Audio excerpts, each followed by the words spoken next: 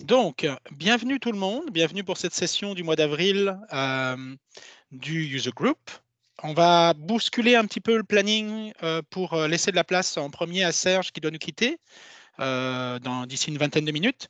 Et, et puis après, ben, c'est pareil, on va bousculer également parce que on va laisser la place aussi à Franck. Je pense que ça va probablement ouvrir à plein de questions. Donc, je pense qu'il vaut mieux qu'on commence par la session de Franck. Et puis, nous, on comblera toujours, Laurent, moi, et puis ceux qui veulent présenter, Benoît, par exemple, si, euh, ou Francis, si vous voulez présenter des nouveautés que vous avez vues. Euh, il nous restera toujours un peu de temps et puis on aura toujours euh, du temps pour combler. OK? Est-ce que vous voulez ouvrir la session? Ben oui, ben c'est quoi? C'est le mot de bienvenue qu'on dit? C'est ça. comme d'habitude. Alors, bienvenue euh, bienvenue tout le monde. Euh, je m'attendais à avoir un peu plus de monde que ça. Peut-être que les gens sont encore. Euh, ils ont mangé trop de chocolat en fin de semaine puis sont tombés endormis à soir à cause d'un surplus de chocolat. la session, comme on a dit, ben, ça, on va parler avec Franck. Je vais prendre un petit 10 minutes pour vous montrer quelques nouveautés. Juste parce que ça fait un bout de temps qu'on ne s'est pas vu. Fait que, on va parler de quelques nouveautés plus sur Teams. Euh, dans les sessions, ben, il y a des événements qui s'en viennent. Nico, si tu veux. Euh, oui, en fait, moi, ce que je te propose, c'est qu'on aille direct euh, sur Teams. Ah oui, ben, on, peut, on peut peut-être étirer. Ça va donner le temps du monde d'arriver, peut-être aussi pour voir la, présentation de Franck, peut-être étirer là, tranquillement, faire les premières portions. Là. Fait que le SharePoint, euh, on a programmé un SharePoint pour jeudi le 18 avril. Le SharePoint, pour ceux qui ne connaissent pas, ben, ça vient de SharePoint. On a enlevé le haut et le pint, ben, c'est une pinte de bière ou une pinte de jus ou comme, euh, comme vous voulez. Euh, donc, une façon de se rencontrer et de parler, oui, c'est sûr qu'on va pouvoir avoir des discussions à propos de la technologie et euh, de plein de choses, mais on peut parler de plein d'autres choses aussi, parler des voyages, parler de la ville, parler du printemps qui arrive, parler des repas de cabane à sucre qu'on va avoir fait, euh, parler de technologie, parler d'un peu tout, et de se voir en présentiel aussi sans être juste côté technologique. Fait que ça fait longtemps qu'on n'a pas fait de SharePoint. Fait que tout le monde est invité, puis vous pouvez inviter des amis aussi. Euh, à l'île Noire, il y a une belle sélection de scotch en plus. Fait que euh, je vais m'assurer d'être à Montréal cette journée-là. Puis c'est tout juste pas très loin de mon bureau. Fait que euh, je vais définitivement être là. D'autres choses, Nico, à propos de SharePoint?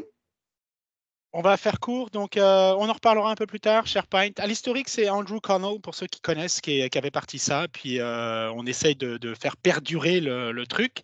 Euh, ce qui est assez drôle, c'est comme un peu un running gag avec Andrew, justement. Donc je pense qu'on publiera des photos le soir, juste pour rappeler que SharePoint is back. Et, et c'était un peu l'idée.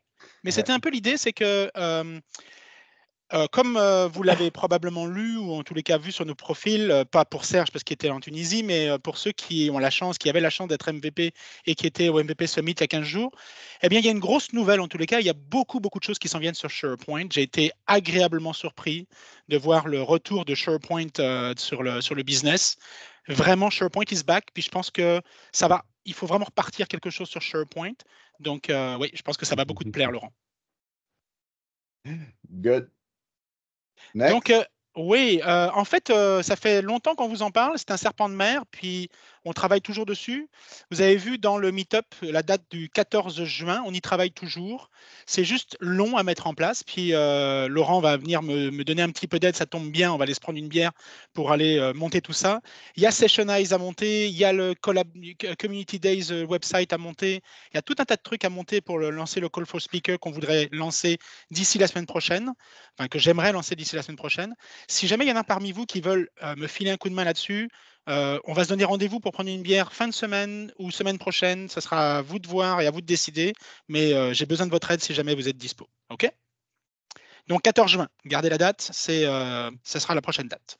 14 juin, si vous n'avez pas bien compris, le 14 juin, la date, c'est pour une conférence en présentiel. Oui. Donc, on va se rencontrer, il va y avoir des conférenciers, on espère d'un peu partout, et qu'il va y avoir des super sessions là, comme on a l'habitude de vous présenter.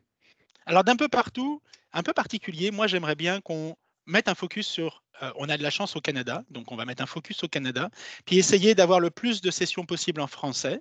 C'est quand même reste quand même la priorité, mais, mais ça serait un peu l'idée de la journée. Donc, donc voilà. Là encore, votre aide est la bienvenue et vos, et vos suggestions sont les bienvenues pour tout ça. Teams. Teams. Tu prends la main, Serge? Ben oui, qu'est-ce qu'il y a de nouveau dans Teams? je ne sais pas si vous l'avez vu passer. on peut maintenant archiver des canaux dans Teams. Fait euh, pouvait archiver des équipes depuis un bout de temps. Microsoft a rendu disponible l'archivage des canaux. Ce n'est pas disponible partout encore. Fait l'archivage d'un canal va nous permettre de cacher un canal et de rendre tous les documents aussi dans le site SharePoint derrière qui est associé au canal, les rendre en lecture seule. Donc, euh, ben, je vais vous montrer en live peut-être. Je vais juste aller dans mon Teams ici. Je vais changer de team. Ce ne sera pas très long.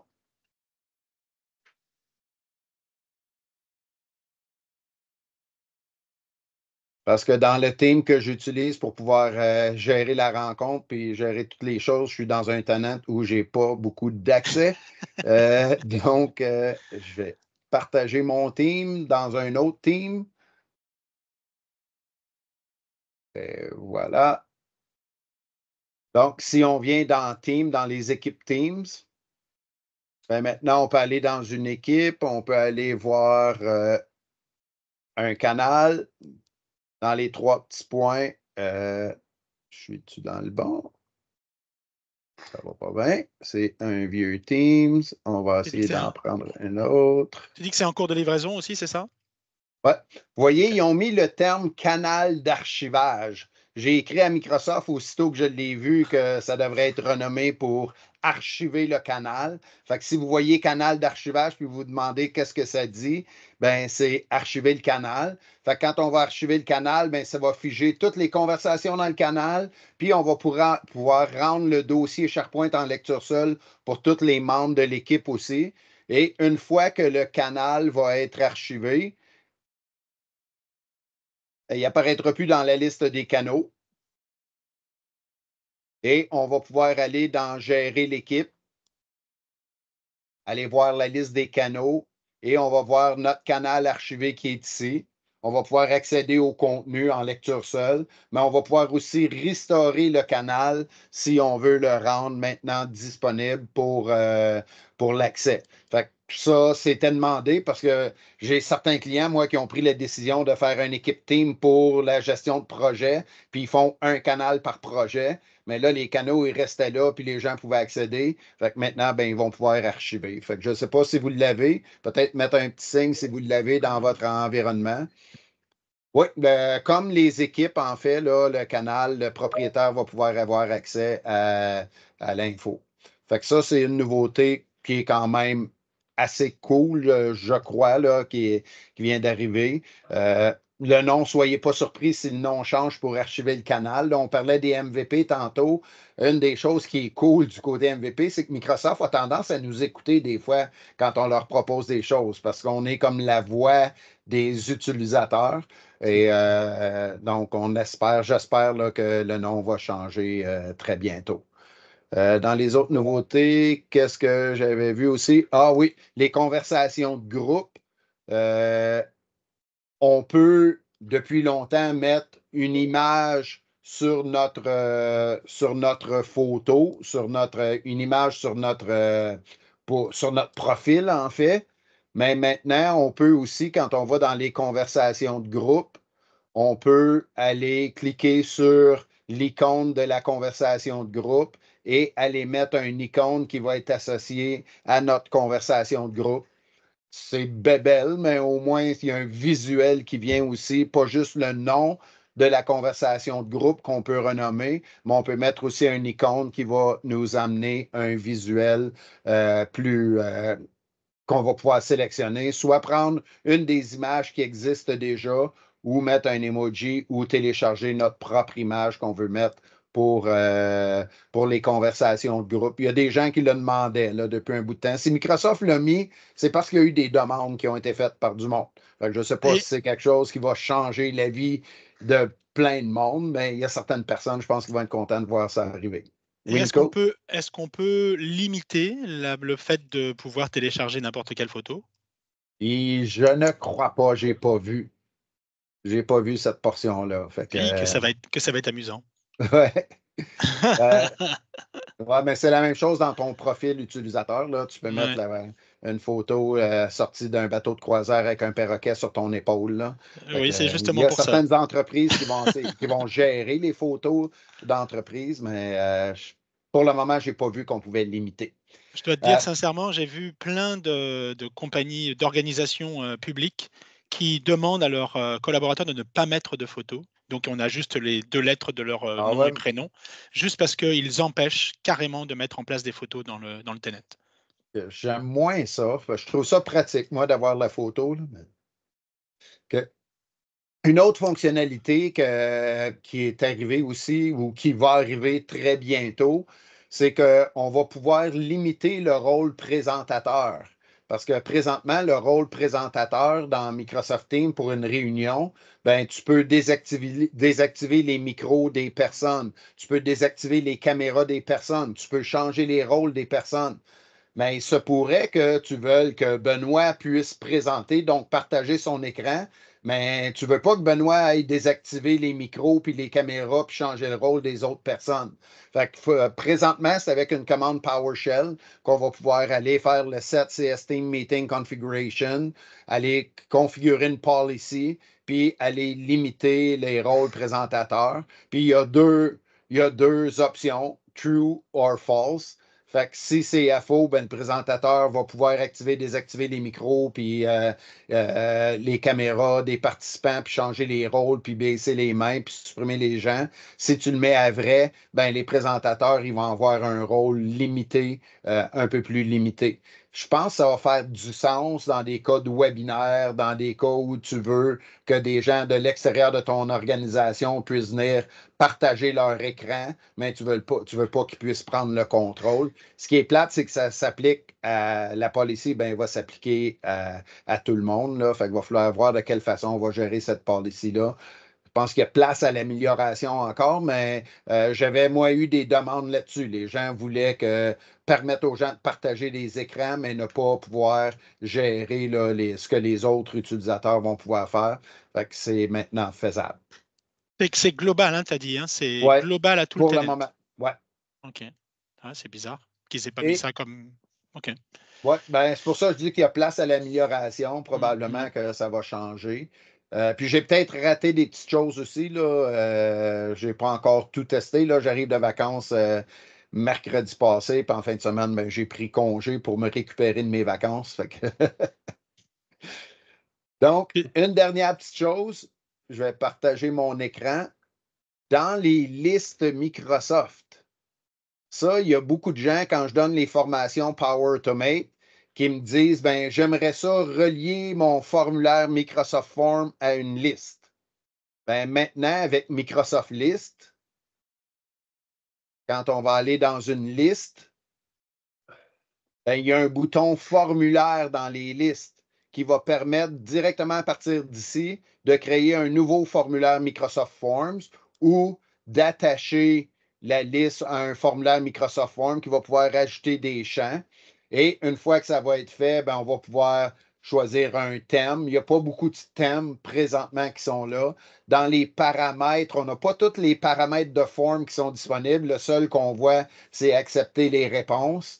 Et les paramètres d'envoi de formulaire, ben, c'est tous les membres de l'organisation qui vont pouvoir utiliser. Donc, tu peux copier le lien du formulaire, puis ensuite envoyer le lien aux gens.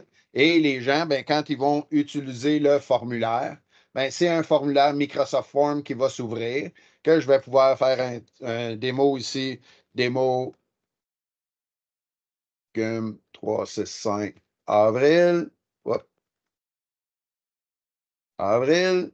Et on va pouvoir aller dire qu'on est dans Teams et envoyer j'ai utilisé un formulaire Microsoft Forms pour saisir l'information.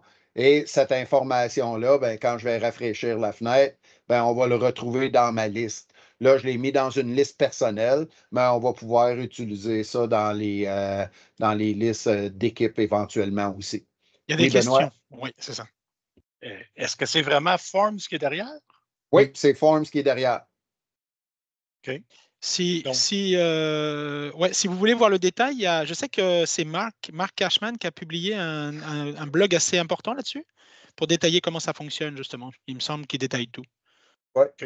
Moi, je ne l'ai pas encore sur mon chose... J'ai vérifié plusieurs fois, puis il n'est toujours pas là. OK. Mais il n'est pas encore euh, déployé partout. Là, je, je, suis dans mon tenant qui a les, euh, les préversions euh, déjà. si on vient dans Microsoft Forms, allez, ben voyons, et dans Forms. La seule affaire présentement, c'est que je n'ai pas trouvé il est où dans mes forms. Donc, euh, donc, ça vient directement avec la question que, que, Xavier a posée. On peut avoir accès au formulaire sans avoir accès à la liste? Un peu comme un Forms. Est-ce que ça peut être ben, anonyme, par faut exemple? passer, faut pas présentement, là, puis je n'ai pas encore fouillé en profondeur. Quand on vient ici, on peut venir copier le lien du formulaire. Et là, ben, ça donne le lien au formulaire. Tu peux éditer le formulaire à partir de la liste. Puis si tu as le lien, ben, quand tu viens ouvrir le lien, ben, ça te donne juste le lien en mode réponse. Il faut un Entra ID. Ouais. Oui, mais il faut quand même que tu aies accès à la liste qui est derrière. Tu ne peux pas déposer. Faut que tu aies accès à la liste derrière. Si tu n'es pas membre de la liste, tu ne pourras pas aller insérer de l'information dans la liste. Donc, c'est un lien pour toute l'organisation s'ils ont accès à la liste qui est derrière. C'est ça, ouais. Ben, je c'est ce que j'ai compris. Là. Ben, avoir accès à la liste, ça fait du sens parce qu'il faut au moins être en modification pour pouvoir ajouter un enregistrement. Donc, euh, ça fait au moins ça fait du sens. non. Ben, pas avec Power Automate. Non, pas de Power Automate derrière. Là, on n'a pas de Power Automate, on est en direct. Là, oui. là c'est en direct, apparemment. Donc, c'est comme si on prenait le formulaire de, de SharePoint et qu'on venait changer le formulaire de SharePoint comme on le fait déjà avec un Power Apps, mais c'est juste que c'est une on, peut voir, on, peut le voir, comme des use cases très, un use case très simple. je veux dire, oui, effectivement, on a accès à la liste derrière, mais on va s'entendre que la plupart des usagers, ils n'ont aucune idée comment aller jouer dans une liste puis accès vers une liste. Fait que c'est caché. Ce que tu peux maintenant faire au moins, c'est un formulaire qui te permet de sauvegarder l'information sans que la personne tombe dans la liste une fois que c'est sauvegardé ou tombe ailleurs ou clique ailleurs. C'est un formulaire qui est un one-pager, tu ça, tu sais, ça dit merci, good j'ai répondu à mon besoin. C'est donc, c'est pas, ça, n'empêche pas la sécurité, là, mais n'empêche qu'au moins tu, euh, tu, guides davantage ton user. Donc, euh, ça reste une belle amélioration, mais il manque encore beaucoup de fonctionnalités par rapport à Forms là, euh, en tant que tel. Il n'y a, pas de multilangue, il n'y a pas de branching. On est très limité, on est très, limité, sur ce qu'on peut faire, à part les différents champs qu'on peut ajouter à notre liste. C'est la première mouture c'est sûr qu'il il va y avoir de l'amélioration encore. Euh, il est en pré-version présentement. Si vous pouvez aller voir, il faut passer par liste. Si je fais une liste dans le site SharePoint, je n'ai pas le bouton Forms ou le bouton formulaire. Fait qu'il faut vraiment passer par la page Microsoft List et non créer une liste dans un site SharePoint pour pouvoir avoir accès au bouton formulaire. C'est des nouvelles choses. Euh, ça vient tout juste de sortir. Je l'ai testé en fin de semaine pour m'amuser. Euh, je n'ai pas fait le tour encore. Faites le tour. Vous avez vu. Fait que ceux qui s'intéressent, faites le tour. Puis le mois prochain, vous pourrez nous en parler avec plus de détails si vous trouvez, si vous découvrez des choses euh, intéressantes. j'ai dit que je prendrais un 10-15 minutes. Ben, c'était les quatre nouveautés qui m'ont frappé le plus. Il y a plein d'autres nouveautés, des choses dans Team Premium, par exemple. Est-ce qu'il y en a ici? Levez la main si vous avez Team Premium. Oh boy. On l'a testé pendant 60 jours, parce que tout le monde peut le tester 60 jours, mais euh, après, il marche. dans avec Team Premium, une nouveauté qui va intéresser peut-être les gens de la communication, les équipes de communication, c'est qu'on peut personnaliser le logo euh, de, des réunions, des envois pour les demandes de réunion Teams. Fait qu'il y a maintenant l'ajout de personnalisation de la page. Quand, euh, quand tu lances une invitation Teams et que les gens cliquent, ben, tu vas avoir le logo de l'entreprise avec les couleurs de l'entreprise qui vont apparaître. Euh, j'ai vu une chose aussi qui va être intéressante. Je ne l'ai pas vu la confirmation encore, mais euh, comme là, la réunion, c'est moi qui a démarré, qui a planifié la réunion Teams, puis Nicolas a démarré l'enregistrement. Fait comme c'est Nicolas qui a démarré l'enregistrement, la vidéo d'enregistrement va être dans le OneDrive de Nicolas. Mais à partir de très bientôt, si c'est moi le, qui a planifié la, réunion, quand Nicolas va démarrer l'enregistrement, la vidéo d'enregistrement va s'en aller dans mon OneDrive à moi pour s'assurer que c'est l'organisateur qui a vraiment l'emplacement de la vidéo d'enregistrement. Fait que ça, c'est quelque chose qui s'en vient, que je pense qu'il va être cool au niveau euh, conformité là, pour s'assurer euh, du bon emplacement des vidéos, euh, qui va être intéressant. Fait qu'il y a d'autres, plein d'autres choses au niveau du hardware, mais j'ai dit que je prendrais 15 minutes. Je suis déjà dépassé. Fait que, ben, merci. Puis je vais, on va laisser la place à Franck. Euh, comme, euh, à moins que vous ayez des choses à dire à propos de Teams, là, on a jusqu'à une demi avant de donner la place à Franck. Fait qu'est-ce que vous avez des nouveautés Teams que je n'ai pas parlé qui euh, vous voudriez discuter? Ou des commentaires sur ce que j'ai présenté? Non, c'est beau. Je ne pourrais pas dire si c'était dans le mois dernier ou le mois d'avant, mais on peut maintenant cacher le canal général aussi. Oui, ça, on en a parlé le mois passé. C'était déjà ah, le mois passé qui permet de masquer le canal général. Et puis, je ne sais pas, moi, j'ai eu ça aujourd'hui avec l'update. Je ne sais pas si ça fait un petit peu que c'est rentré, mais maintenant, j'ai les notifs de toutes mes invitations Outlook direct dans Teams aussi. Oh, ça fait un beau bazar. oui. Ça fait un beau bazar un matin. Bing, bom, bom, 8, 9 affaires. Tabarnak, c'est quoi ça? On peut gérer notifs, là, mais quand même euh, intéressant pareil. Là le nouvel onglet de notification ou des. Euh, comment ils appellent déjà des. Euh, euh, ah, je ne les pas ici. Intéressant, mais, intéressant, mais j'aurais aimé ça qu'ils nous l'expliquent mieux dans, le, dans la roadmap et puis qu'on soit plus prévenu pour les organisations. Mm-hmm. Tout à fait. Moi, j'ai rien vu. OK. Ben, on, est, on, est, on est deux alors. Autre chose? Euh, j'ai pas autre chose, mais juste revenir sur Forms tout à l'heure. Francis a partagé un lien dans le chat qui est très intéressant et qui explique justement la technologie en arrière. C'est pas Forms, ok? C'est une technologie native, native à Microsoft Lift. Ça ressemble à Forms, mais c'était pas Forms. Donc attention. Il a pas n'attendez pas à ce qu'il y ait les mêmes fonctionnalités qu'avec Forms. Ça n'est pas Forms, mais ça ressemble. C'est le même look and feel, mais c'est notre ah technologie. J'avais vu moi que c'était Forms derrière. Non, j'avais compris que ce n'était pas Forms parce que les, types de champs qu'on voit, c'est nos colonnes qu'on a dans SharePoint. ça n'existe pas, ces types de colonnes-là, dans Forms. C'est seulement texte. Ben, C'était dans le euh, champ BRN. Non, mais c'est pas. pas attention, euh, Serge, c'est possible que la technologie l'ait utilisée en back-end. Mais euh, c'est juste que de manière officielle, tu vois, ce qui communique en fait, c'est que c'est séparé de Forms. Donc, Office ne s'appuie pas sur le, service Forms pour livrer ça. Mais ça ne veut pas dire qu'ils n'ont pas utilisé la technologie en arrière. Ce qui explique qu'on ne voit pas le formulaire dans Forms derrière, parce que euh, je n'ai pas trouvé où il est dans Forms derrière. ça fait du sens. ça fait du sens. Mais merci euh, Francis pour le lien. Merci Francis. Très bonne info. Excellent. Bon, ben, euh, s'il n'y a pas d'autres points ou questions, on va laisser la place à Franck. Et puis, on va remercier Serge d'être passé. Ben, je vais partir le dans environ 10 minutes. Là. Je veux voir le, début au moins de. Même si on enregistre la, rencontre, là, je vais être là pour le début. Que... Puis je vais quitter. Fait que je vous dis bye tout de suite. Comme ça, je ne dérangerai pas tout le monde. Ça marche. Merci. Merci Serge. Merci Serge. Excellent. Euh, alors, je, vais, partager mon écran directement. le plancher est à toi le plancher virtuel. Euh, ok, parce que là j'ai trois écrans devant moi. J'espère que ça va rendre correctement. Vous me dites si vous voyez. Euh, ouais.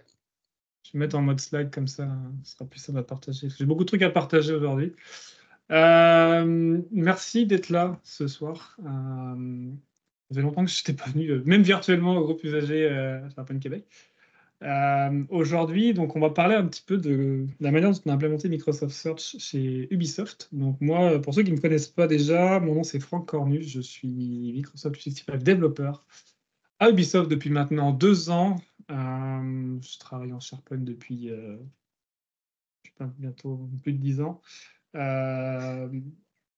Donc voilà, euh, MVP, Microsoft 365 en développement aussi. Euh, il s'il y en a qui qui me connaissent pas, peut-être il y en a qui connaissent une solution que j'ai faite il y a quelques temps qui s'appelle le PNP Modern Search. Euh, peut-être il y en a qui connaissent, donc voilà, c'est moi à la base qui ai créé ce truc-là. bon, je m'en occupe plus beaucoup aujourd'hui, mais bref, triste pas. et voilà pour moi. On va passer maintenant à, un petit peu euh, Ubisoft. Je pense que vous connaissez déjà de parler par les jeux. Est-ce qu'il y a des joueurs un petit peu Non? Non, pas du tout. Ouais, ouais quelques-uns. Là, vous aimez nos jeux. bon, le but, c'est pas de parler de ça, mais globalement, juste pour comprendre le contexte, euh, Ubisoft, c'est une grosse compagnie. C'est 20 000, alors les stats sont peut-être pas à jour là, mais c'est 20 000, employés partout dans le monde. Il y a 30, 30 pays. Euh, il y a 90 nationalités, 65 euh, langages, enfin langues, et voilà, beaucoup, beaucoup de projets euh, euh, et d'équipes, euh, on va dire, impliquées, ont été impliquées dans ce projet de Microsoft Search. Et d'un point de vue technique, donc nous, on a Microsoft 365 depuis quelques, pas très longtemps. by the way, je suis avec quelqu'un aussi d'Ubisoft dans le, dans le chat, Stéphanie, qui est avec moi. coucou Stéphanie. donc corrige-moi, je, je, parle sous, je parle sous contrôle, sous contrôle Ubisoft ici. Donc si je raconte des bêtises, n'hésite pas à me taper sur les doigts. Euh, je taperai pas sur les doigts.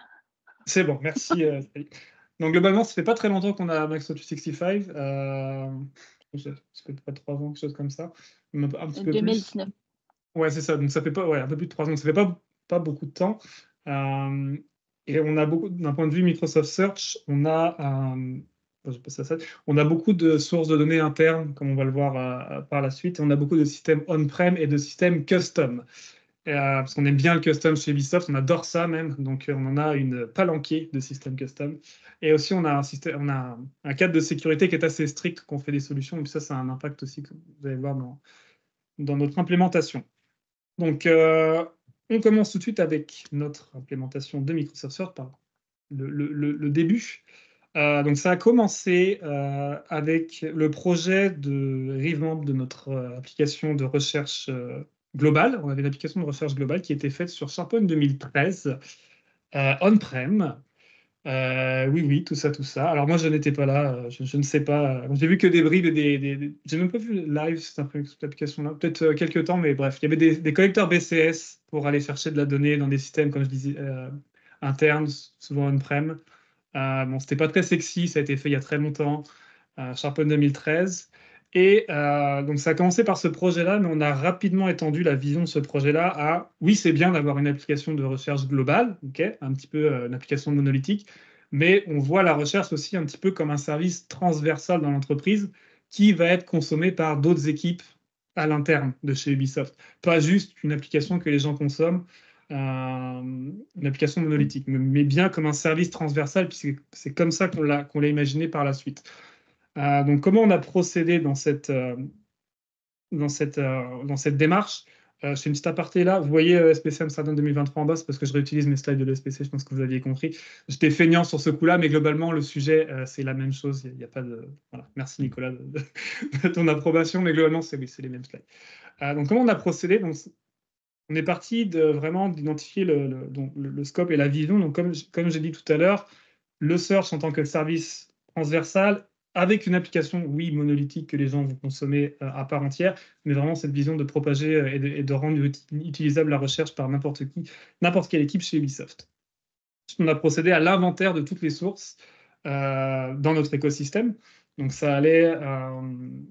donc pour vous donner une idée des sources qu'on a un petit peu chez Ubisoft, donc on a du WordPress, on a du MongoDB, on a du SQL Server, on a des applications custom divers et variés. On a du ServiceNow, on a du Confluence, on-prem, tout ça. Euh, donc pas mal de sources hétérogènes euh, à rassembler sous un même chapeau euh, dans la recherche. Donc ça, a été la première étape de faire un inventaire. Et la première chose que ça permet de faire un inventaire, ça, ça, va déterminer tout de suite surtout le type de connecteur que tu vas avoir besoin. Dans, dans, le cas de Microsoft Source, par exemple, est-ce que c'est un connecteur qui est built-in que Microsoft propose ou c'est quelque chose que tu vas devoir développer? C'est quoi la complexité si tu as le développé? Euh, C'est quoi, par exemple, le nombre euh, d'items que tu vas avoir dans ta source de données? Premier point important ici, c'est quand tu, quand tu identifies le nombre d'éléments, ça va déterminer tes quotas dans Microsoft Search. Donc, je, si vous ne connaissez pas comment ça fonctionne, globalement, c'est quand tu achètes des licences 365, ça te donne un nombre de quotas dans Microsoft Search qui t'indique le nombre d'éléments que tu peux indexer gratuitement, si tu veux, avec tes licences. Et euh, il y a un ratio de licence, de quota par licence. Je ne me rappelle plus exactement le, truc, mais je pense que c'est 500 items par licence, E3 ou E5, un truc comme ça, il faudra vérifier. Bref, je ne suis pas expert en licensing, peu importe. Euh, mais globalement, tu multiplies ça par le nombre d'utilisateurs que tu as sur ton tenant et les sources de données que tu as indexées. Et donc, ça te donne une bonne idée déjà. Donc, si tu as un tenant de 50 licences et tu as un, un, data source de 1 million d'items, ça va coincer quelque part déjà dès le début. Donc, ça, c'est important d'identifier ça. Euh, donc faire toutes les, tout l'inventaire des sources. Euh, ensuite, la, deuxième, la troisième chose, euh, ce qu'on a fait, c'est de, vraiment lister tous les, requis qu'on avait sur le projet, à la fois fonctionnels mais non fonctionnels. bon, quelques-uns des requis qu'on avait, par exemple, bon, évidemment que l'interface soit en plus, supporte plusieurs langues, qu'on ait des analytics, qu'on puisse justement euh, créer des connecteurs facilement avec euh, peu importe quel outil, mais créer des connecteurs facilement capables d'ingérer beaucoup, beaucoup, beaucoup de données parce qu'on en a énormément chez Ubisoft. Euh, ce, genre de, requis, donc au niveau, de, comme j'ai dit, de l'interface des données et aussi, et aussi technologique. Euh, il n'y avait pas que Microsoft Search dans le, dans le paysage au départ. Euh, on n'est pas parti de la solution technologique et on a déroulé, on est parti plutôt vraiment du besoin et on est arrivé sur la solution technologique à la fin. Évidemment, que, ayant un tenant 365, c'est sûr que ça, facilite l'adoption de Microsoft Search, mais il y avait, il y avait d'autres systèmes dans l'équation. Dans dans euh, si je me rappelle bien, il y avait Elasticsearch qu'on considérait aussi. Euh, puis il y avait eu un projet avant, euh, je ne me rappelle plus exactement c'était quelle technologie, je pense que c'était LucidWorks, quelque chose de fusion. Je, ne connais pas ce projet-là, mais bref. C'est un, autre, produit de search, on a eu un produit concept avec un autre. Bref, ça n'a pas, pas, fonctionné. Donc on était parti sur à la fin, les deux, c'était Microsoft Search et, Elasticsearch. Euh, donc on a en gros fait une, petite matrice, ok quelles sont les priorités, quels sont les requis, est-ce que l'outil le, permet, oui, non, puis on a fait des pondérations, puis on est arrivé avec une, avec une euh, en fait, avec euh, la, shortlist, en fait, euh, ok, cette solution-là répond, répond, le mieux à nos besoins. Et bon, évidemment, spoiler alert, c'était Microsoft Search pour les raisons que je vais vous expliquer tout à l'heure. Et la dernière étape, bah, l'implémentation. on a commencé par l'application. enfin, commencé par l'application et les graphes connecteurs qu'on va voir tout à l'heure. Parce que dans, un projet de recherche comme ça, il y a deux parties. Il y a la partie consommation d'information, qui est le portail de recherche, mais la partie aussi data qui est aussi très très importante, voire plus importante que le reste. Euh, donc pourquoi on a choisi Microsoft Search? Euh, bah, La première chose, c'est que ça, ça quand même, on va se le dire, ça s'intègre bien avec SharePoint et Microsoft 365. Quand même, ça, mérite de bien s'intégrer, donc forcément c'est un, un, un, gros atout. On a beaucoup de documents, en fait toute la partie documentaire chez Ubisoft, c'est pas mal SharePoint. Euh, nos plus gros systèmes, c'est Confluence et SharePoint. mais toute la partie, tous les documents, Vraiment, les repositories, c'est dans, euh, dans SharePoint. Donc forcément, avoir un outil qui s'intègre nativement et en plus qui ne consomme pas, euh, qui ne consomme pas euh, de quotas, parce que les quotas, ça ne rentre pas en compte, il me semble, pour tout ce qui est SharePoint. Donc forcément, c'est déjà un, bel argument. Il y a des connecteurs built-in de Microsoft Search qu'on peut utiliser pour les, sources de données majeures comme ServiceNow, euh, SQL Server et aussi Confluence. Même si Confluence, on aura peut-être l'occasion d'en reparler, c'est un peu plus compliqué vu qu'on a un système on-prem. Euh, mais euh, globalement, Microsoft propose déjà un certain nombre de connecteurs pour la plupart des, sources de données en fait. Il y a un SDK pour créer des custom connecteurs. Donc quand je parle de connecteurs, vous avez peut-être déjà entendu le terme Graph Connector. Surtout si vous faites du Copilot, il, fait, parle que ça. Donc, mais à la base, c'est pour Microsoft Search en fait. Copilot, c'est juste quelque chose qui vient par-dessus, mais Graph Connector, c'est pour le search à la base. Euh, donc il y a une API pour ça, mais encore mieux que l'API, il y a un SDK. Donc nous, on a utilisé le, SDK.NET pour créer nos, connecteurs. Euh, il y a une API, donc ça aussi c'est bien, euh, pour créer du, en gros créer ton, application d'un point de vue UI. L'API est disponible via Microsoft Graph, via Microsoft Graph. Et la dernière raison qui est effectivement bah, euh, on avait déjà payé fait pour, euh, on avait déjà les licences, donc bon, bah forcément d'un point de vue financier, ça a quand même fait plus de sens de choisir Microsoft Search puisqu'on avait déjà en fait tous les quotas euh, disponibles et en fait inclus dans nos licences. Donc forcément, ça, a aidé pour le, pour le choix. Et dernière chose, et non des moindres, c'est qu'on a eu l'occasion en fait de participer au programme Fast Track avec Microsoft. donc pour ceux qui ne connaissent pas le programme Fast Track, en gros c'est un c'est un programme que Microsoft propose pour, les, pour, certains, clients dans le monde qui permet en fait de, je ne pas dire d'être bêta-testeur, mais en gros euh, de développer le produit avec eux et d'avoir accès à un avant-première, à un certain nombre de features. Et la contrepartie, c'est qu'on aide, en fait, on leur donne du feedback continuellement sur les différents outils qu'ils proposent. Euh, et nous, on a pu travailler directement avec les équipes de Microsoft euh, sur la partie search, notamment pour la partie connecteur, mais la partie API aussi. Euh, donc ça, ça un gros, gros plus, euh, bien honnêtement, pour, euh, pour booster le projet, parce qu'effectivement, on a, on a implémenté Microsoft Search quand ça commençait à être, à, devenir, on va dire, je ne vais pas dire populaire, parce que ça n'allait pas forcément maintenant encore, mais ça commençait, donc c'était vraiment le tout début. Il manquait quand même pas mal de choses au début.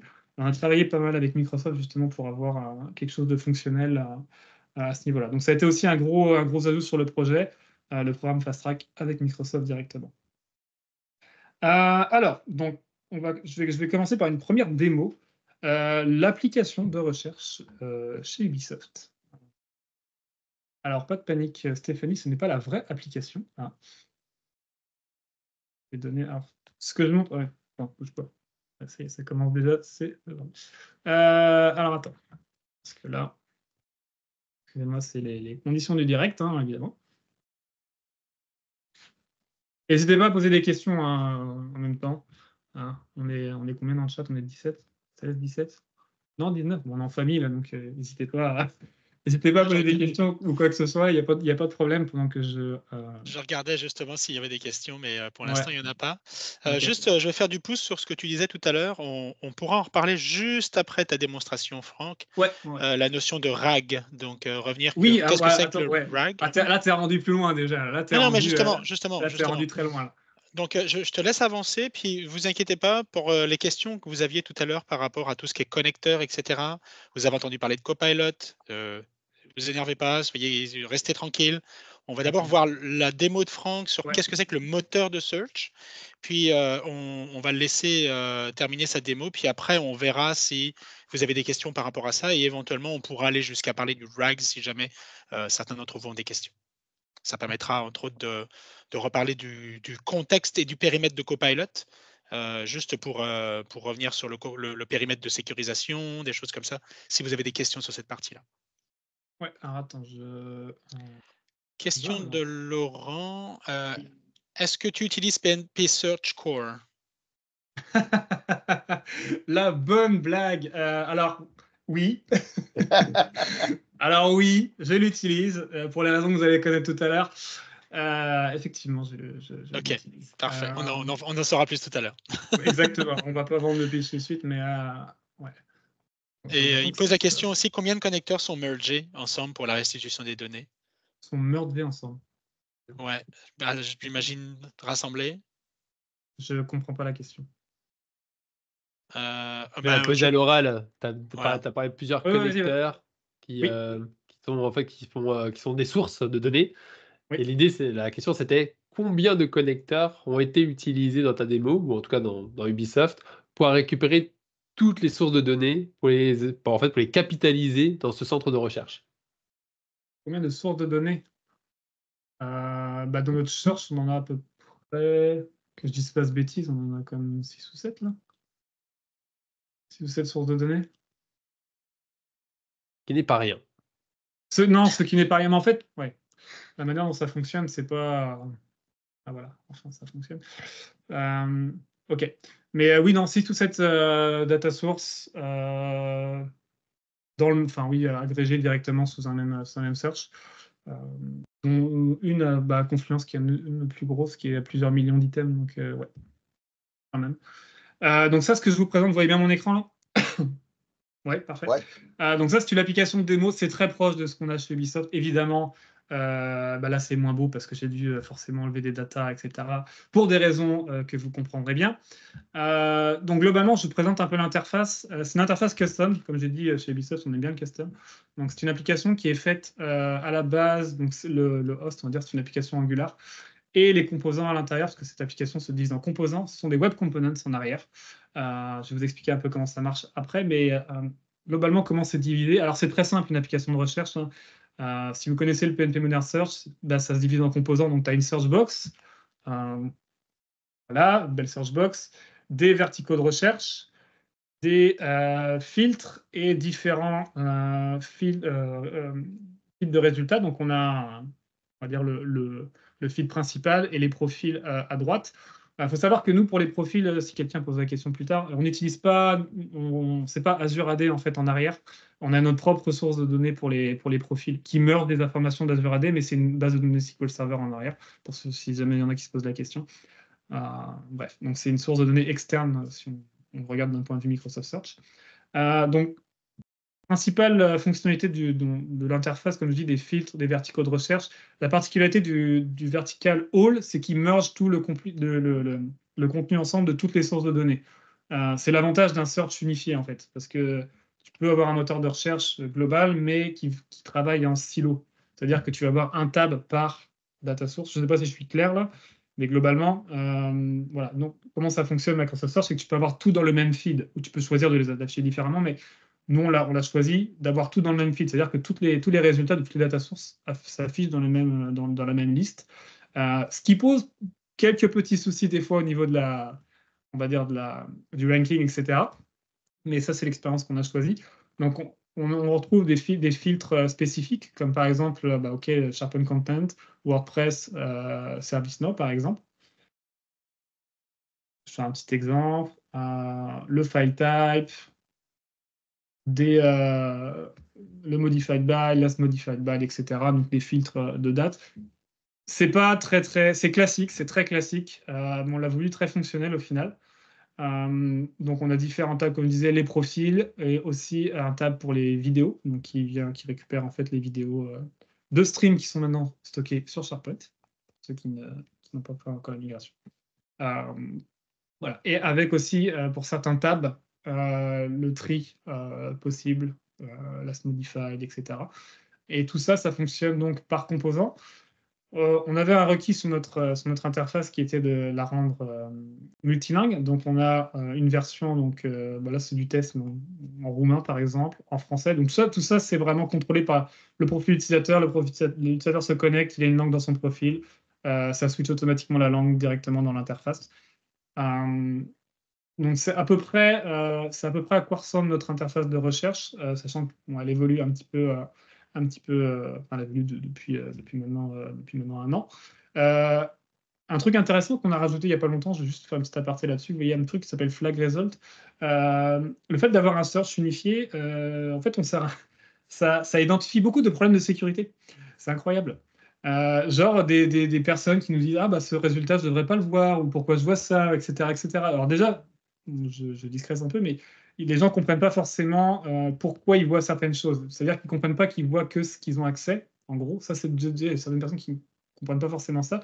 Et aussi, ça permet de vraiment de, mettre en lumière des problèmes de, on va dire, de, partage de, partage d'informations. Des gens qui partagent à outrance sur SharePoint, ben, le fait d'avoir un search qui fonctionne correctement te met en lumière ce genre de problème, en fait. Et du coup, on a rajouté cette feature flag result justement pour que les utilisateurs puissent euh, indiquer bah tiens là il y a peut-être un problème, je ne devrais pas voir ça, etc. Donc c'est une fonctionnalité qu'on a, rajoutée très très récemment, mais qui est euh, on s'est aperçu finalement que, que le search remontait ce genre de ce genre de problème chez nous. Euh, voilà, donc c'est à peu près à quoi, ça, à quoi ça ressemble. On a aussi un autocomplete, il me semble ici aussi, je ne sais pas s'il fonctionne là. On a un autocomplete aussi sur la, sur la search box. Donc une interface relativement simple qui est faite avec un certain nombre de composants. Donc c'est des composants indépendants sur la page qui sont connectés entre eux. Ça, je vous expliquerai un petit peu comment ça fonctionne euh, par la suite. Mais globalement très simple, quatre composants, quatre ou cinq composants sur la page. Et euh, l'avantage, c'est que on peut faire un petit peu ce qu'on veut ici. Alors, il y a, quelques petites questions avant que si, tu, si tu veux bien. Bien sûr, bien sûr. Euh, Laurent qui posait une question, est-ce qu'il y a euh, une gestion des performances euh, que tu as gérées en dehors de celle annoncée par Microsoft? Est-ce que tu as besoin, est-ce que tu as eu besoin de faire attention à des problèmes liés à la performance? Oui, quand tu dis, bah, ça vaut pour n'importe quelle application front-end, mais globalement, les problèmes de performance qu'on a, qu'on a identifiés, bah, c'est sûr que si tu si tu affiches beaucoup de résultats d'un coup, forcément, ça va, c'est pas une bonne, c'est pas une bonne chose. Euh, au niveau aussi, je, vais remettre, euh, je vais remettre mon écran, mais au niveau des vidéos, par exemple, on s'est, aperçu, aperçu aussi que pour les vidéos ici, de base, en fait, nous, on, est sur une application euh, donc custom qui est sur un domaine spécifique, mais quand tu rediriges vers SharePoint, tu peux, tu peux pas avoir un iframe, en fait, enfin, tu peux pas loader une vidéo, par exemple, un embed d'une vidéo stream, tu peux pas loader depuis un domaine différent, ça va pas fonctionner. Donc, pour, que récupérer un embed d'une vidéo, faut que tu ailles faire un call graph pour récupérer l'embed et ensuite le mettre dedans. Euh, le problème, c'est quand tu fais ça une fois, ça va, mais quand, mettons, tu as 50 résultats affichés sur la page, bah, la gestion de la performance devient un problème en fait quand tu as des vidéos comme ça. Donc en gros, nous, c'est un petit, c'est une petite anecdote que je vous partage ici, mais le bouton play que tu vois ici, c'est un fake bouton play. C'est-à-dire que quand tu cliques dessus, il fait juste ajouter au DOM un iframe, il, il load en fait le, euh, il fait le call graph en arrière pour aller récupérer le thumbnail. Et on lance la vidéo en autoplay, en fait. C'est juste un petit tweak qu'on a. Bon là, il n'est pas configuré hein, parce que mon navigateur le, le, supporte pas. Mais globalement, c'est le genre de petits trucs qu'on a, qu'on a configuré pour euh, gérer la performance. Euh, donc oui, il faut faire attention, mais je ne dirais pas plus que n'importe quelle autre application front-end au final. C'est un peu les mêmes guidelines. Euh, je vois une question, pourquoi Angular plutôt que React Oui, alors, c'est parce qu'en fait, comme je te disais, il y a, chez Ubisoft, il y a beaucoup de teams en fait, de développement et il y a une équipe qui s'occupe du host de l'application et une autre équipe qui s'occupe de développer les composants. Parce que les composants peuvent être comme je dis tout à l'heure, les composants font partie d'un service de recherche qu'on a chez Ubisoft, mais qui peuvent être utilisés dans différents, euh, dans différents hosts en fait. Donc l'application de recherche en est un, mais en différents hosts, tu peux, tu peux avoir aussi SharePoint, tu peux avoir une autre application avec une autre technologie, etc. etc. Donc Angular, c'est parce que l'application d'avant, elle était sur Angular, donc on, a continué avec ça. Mais les web components sont créés avec une autre technologie. Mais au final, ça reste du web, donc ça s'intègre relativement bien. C'était ça aussi l'idée derrière. Euh, autre, question?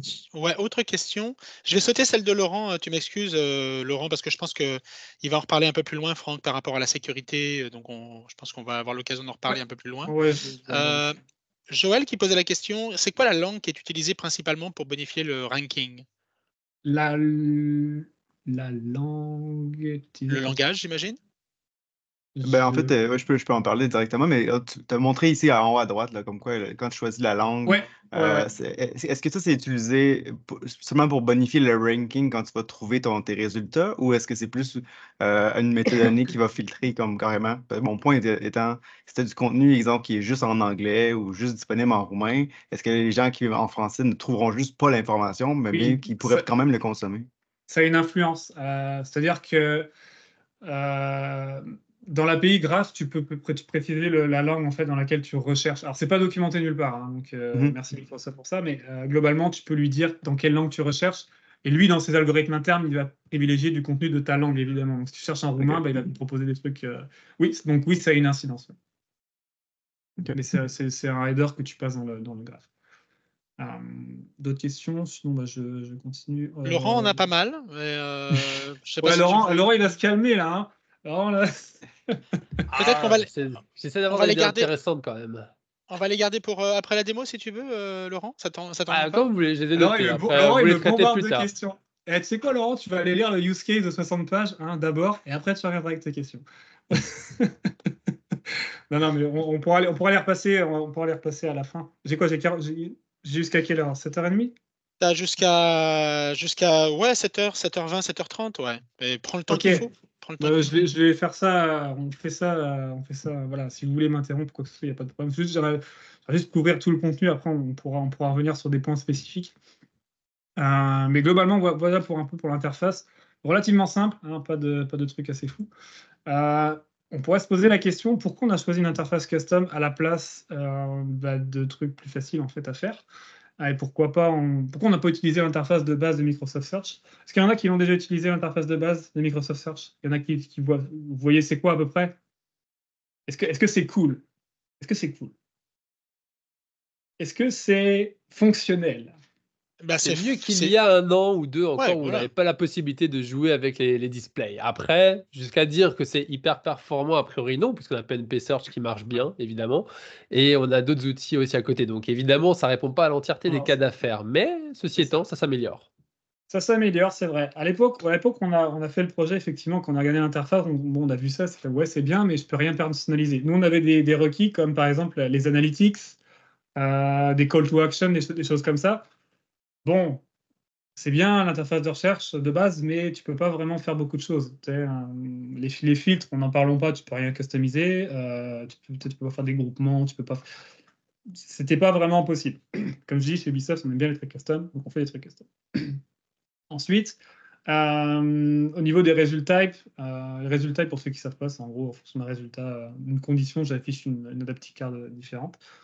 bah, ça marche pas pour tous les content types, par exemple tu pouvais faire ça que pour les sources de données externes, mais pas pour les trucs SharePoint. Ou alors maintenant, c'est pour les trucs SharePoint, mais pas tous les types de fichiers. Bref, il y, a tellement de limitations à ce niveau-là que ça ne fonctionnait pas. Donc on s'est dit, bah, pourquoi pas le, PMP Modern Search? Ça, marche bien et tout, c'est gratuit et tout. Puis en plus, on, connaît le gars qui l'a fait, donc c'est parfait. Euh, mais le truc, c'est que bah, c'est bien, mais ça fonctionne que dans SharePoint, en fait, le PMP Modern Search.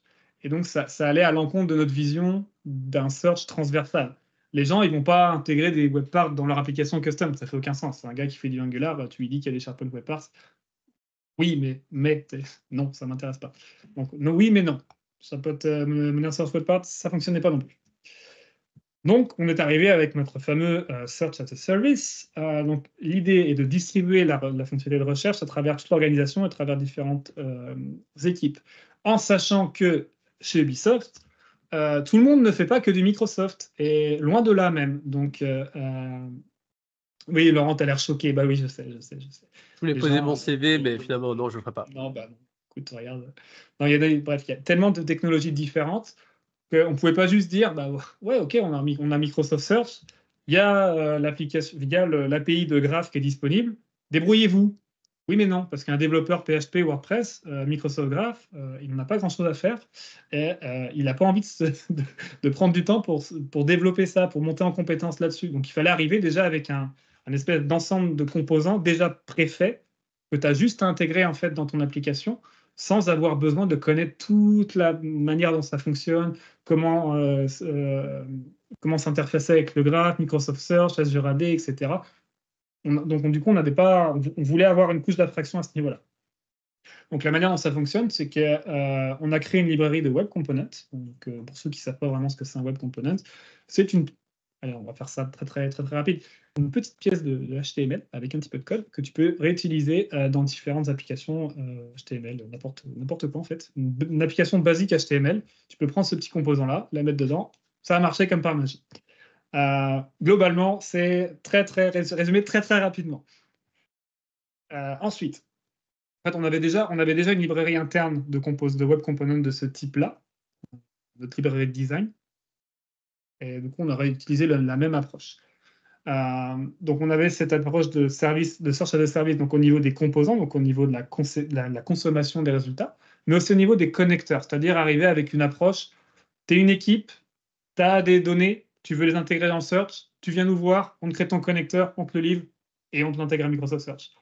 Et on a fait ça pour, plusieurs équipes euh, internes, notamment euh, WordPress, euh, ServiceNow, notre base de données, notre wiki interne, etc., etc. Donc on est comme un, un, service, on crée ton connecteur et on l'intègre. Et tu n'as pas besoin, en fait, on ne veut pas que les gens le fassent eux-mêmes pour qu'on se retrouve avec 25 solutions différentes qui respectent aucune guideline et qu'on demande d'intégrer dans le search global. Vu que c'est un service global, il faut que ce soit normalisé, il faut que ce soit fait selon, certaines règles.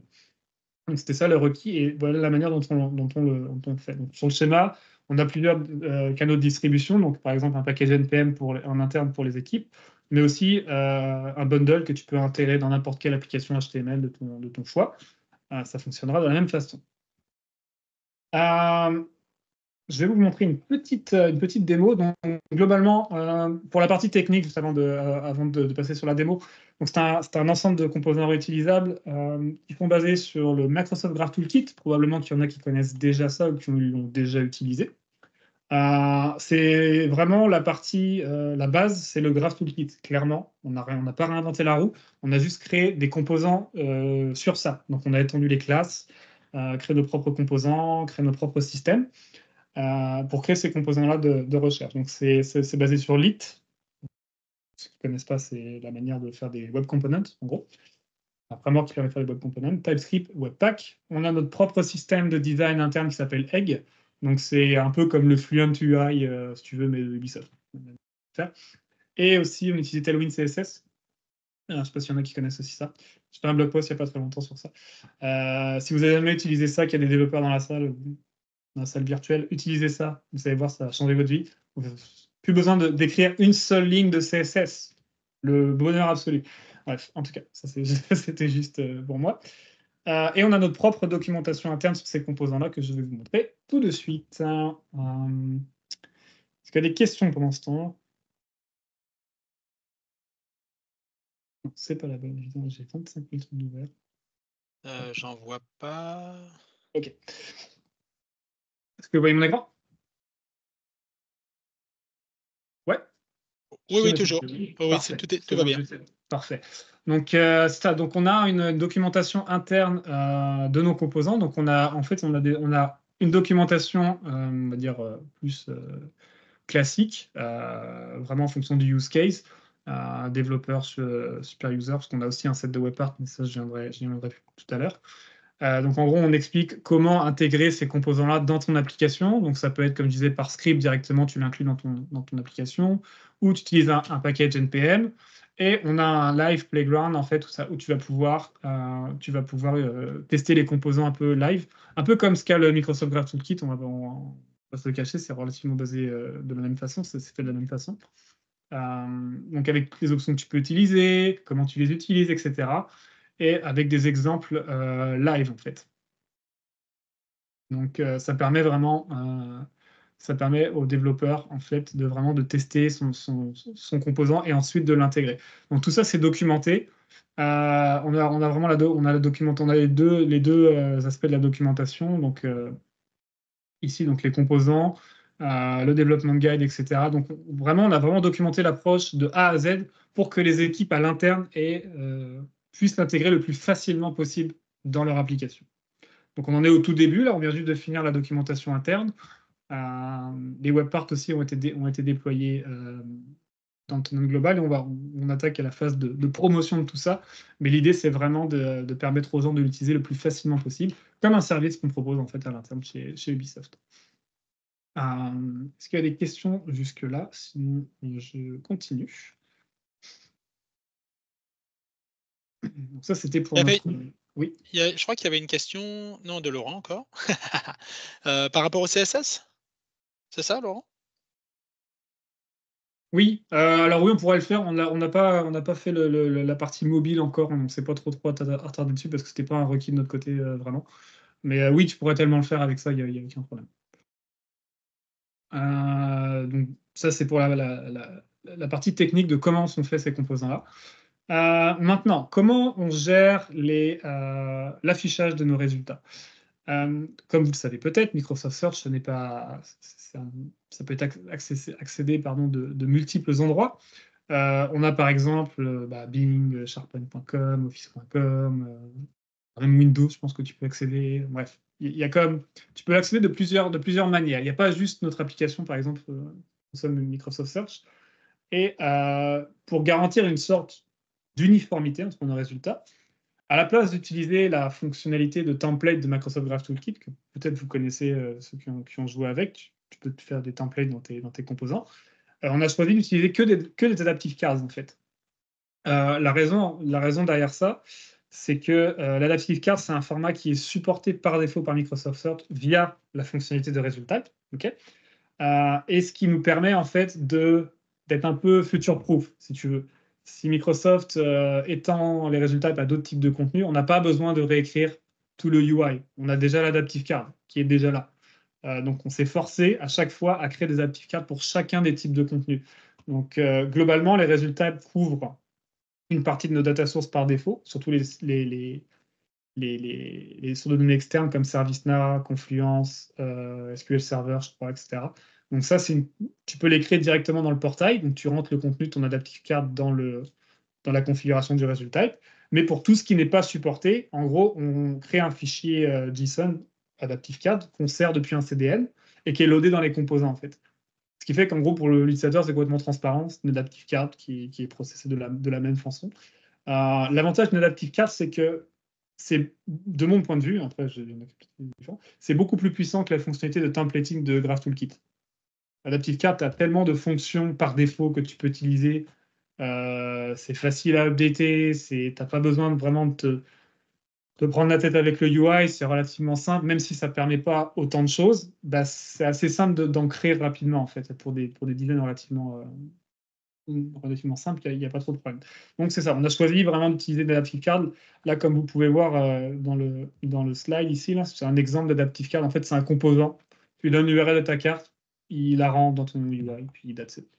Mais l'avantage, c'est que tout est géré de, la même façon, que ce soit une source qui est gérée par un résultat ou une source qui est comme custom qui n'est pas supportée. Euh, donc voilà comment on fonctionne. Euh, par contre, effectivement, dans l'expérience, notre expérience custom et l'expérience de base Microsoft Search, il y a des, quelques petites différences. Euh, ceux qui ont déjà utilisé des Adaptive Cards bah, vous savez qu'on peut pas utiliser de CSS, par, exemple, dans du Adaptive Card, directement dans une Adaptive Card. La seule manière de le faire, c'est en configurant ce qu'on appelle une, un host. Dans le host configuration, tu lui donnes quelques, en gros des variables qui vont être répliquées dans tes cartes. Euh, donc globalement, la manière dont on fonctionne, c'est quoi? Dans nos Adaptive Cards, à chaque fois, on a une partie genre, euh, on a une condition genre, est-ce que tu te render dans une custom app ou est-ce que tu te render dans, dans l'application par défaut? Donc ça, je peux peut-être vous le montrer en fait. Euh, je vais peut-être vous le montrer dans, un, dans, une carte en tant que telle. Euh, hum, hum, hum. Excusez. Hop. On va prendre un. Attention, Nicolas, j'ai montré du code. Donc voilà, en fait, on a, vraiment une simple condition ici. Euh, avec un flag spécifique qui est mis par notre application. Euh, si c'est une custom app, ok, bah tu rends ça, tu peux rendre du HTML, etc. Si tu fais, si c'est pas du, euh, du, HTML, tu la rends de manière plus simple dans un dans l'application host pour que ça s'affiche correctement. Parce que si vous mettez du, HTML directement dans une adaptive card, par exemple dans l'application Microsoft Search, enfin l'interface Microsoft Search de base, ça va s'afficher, va dire bizarrement. C'est-à-dire qu'il va te rendre le texte tel quel, en fait. Donc forcément, ça, c'est pas super bien.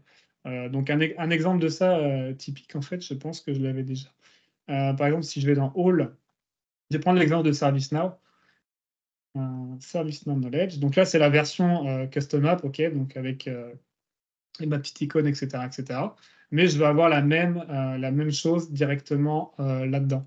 Donc, par exemple, si je vais dans ServiceNow, dans l'interface de base, bah, je vais avoir un truc, c'est pas tout à fait la même chose, mais c'est pas moche non plus, c'est utilisable. C'était ça le but, hein. c'est juste pour la rendre utilisable. Sinon, bah, votre expérience, elle pète un peu partout. Donc ça, il, a, fallu aussi gérer ce, euh, ce cas-là. Je continue. C'est clair pour, l'instant pour vous, mais euh, n'hésitez pas à poser des questions. En fait, euh, Nicolas ou euh, autre, n'hésitez pas à me dire s'il y a des questions parce que je ne lis pas forcément le chat en même temps. Donc, Ensuite, les analytics. Alors forcément, les analytics, si vous faites du search, c'est quand même assez, c'est assez important pour une compagnie de savoir ce que les gens cherchent, pourquoi, comment. Ça permet de, rectifier le tir si jamais les, en tout cas, d'avoir du meilleur contenu, plus pertinent pour les, pour les employés. Euh, de base, euh, malheureusement, euh, les analytics ne sont pas considérés quand vous faites du search via l'API, en fait. C'est un gros problème qu'on a sur le PNP Modern Search, en fait, c'est que c'est complètement transparent pour un tenant. C'est-à-dire qu'une compagnie qui utilise le PNP Modern Search ne sait absolument pas ce qui se passe au niveau de son, de son search parce qu'il n'y a pas de stats, en fait. Il n'y a pas d'analytics compilé là-dessus, sur, sur l'API. Et en posant la question à Microsoft, euh, ils vont me dire que c'est, comme ils disent, hein, good feedback, c'est ça qu'ils disent? Voilà, c'est ça qu'ils disent. Euh, en gros, ça veut dire on s'en fiche, euh, on ne fera pas ça tout de suite. Voilà. Donc, c'est un gros problème parce que pour les gens qui font des applications custom, pour les gens qui utilisent Open Search par exemple, bah, ça veut dire que vous n'avez aucune, aucune stat en fait là-dessus. Donc nous, on a dû implémenter notre propre système. C'est pour ça aussi qu'on est allé avec une, application custom. C'est pour avoir notre propre système d'analytics. En arrière, on utilise euh, quelque chose qui s'appelle Matomo. Peut-être que Laurence, je sais que tu connais parce que tu es un grand fan de Matomo. Euh, mais est-ce que, en gros, c'est une sorte de Google Analytics, si tu veux, euh, mais en interne. En gros, on a un système Matomo on-prem qui permet en fait de loguer des événements sur des pages. Donc, on, traque tout un tas d'actions sur quel résultat tu as cliqué, c'était quoi la valeur, c'était quoi le tab, c'était quoi la page, etc. etc. Euh, donc tout un tas de trucs. Je peux vous montrer un petit peu à quoi ça ressemble un, un dashboard de Matomo euh, pour, le search.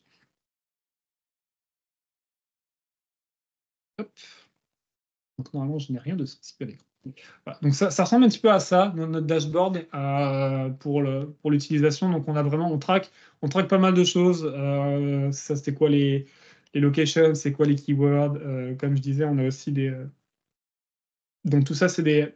Ce que vous voyez là, là, c'est vraiment des trucs custom qui ont été définis. Genre, c'est quoi les bookmarks que tu as vus, c'était quoi les fields, c'est quoi, etc., etc. Les data sources aussi. Donc ça, ça nous permet de corriger le tir. Euh, si jamais il y a des, on voit des, tendances, etc., ben on peut vraiment le voir en temps réel sur notre, sur notre dashboard. Et ça, Microsoft, en fait, de base, euh, non, on ne s'est pas vraiment attardé sur les rapports d'utilisation de base de Microsoft Search. honnêtement, surtout à l'époque, il, il, devait y avoir quoi, trois dashboards sur le truc et puis ça te donnait quoi, euh, le nom d'utilisateur, puis c'est tout. Euh, on ne s'est pas vraiment attardé là-dessus. Nous, on voulait vraiment des choses beaucoup plus, euh, un tracking beaucoup plus fin en fait au niveau de l'interface. Ce que te permettra de toute façon pas l'interface de base Microsoft Search. donc ça, c'est un requis de notre part. Mais si vous voulez vraiment faire des trucs poussés, c'est plus compliqué avec, avec Microsoft Search, l'interface de base.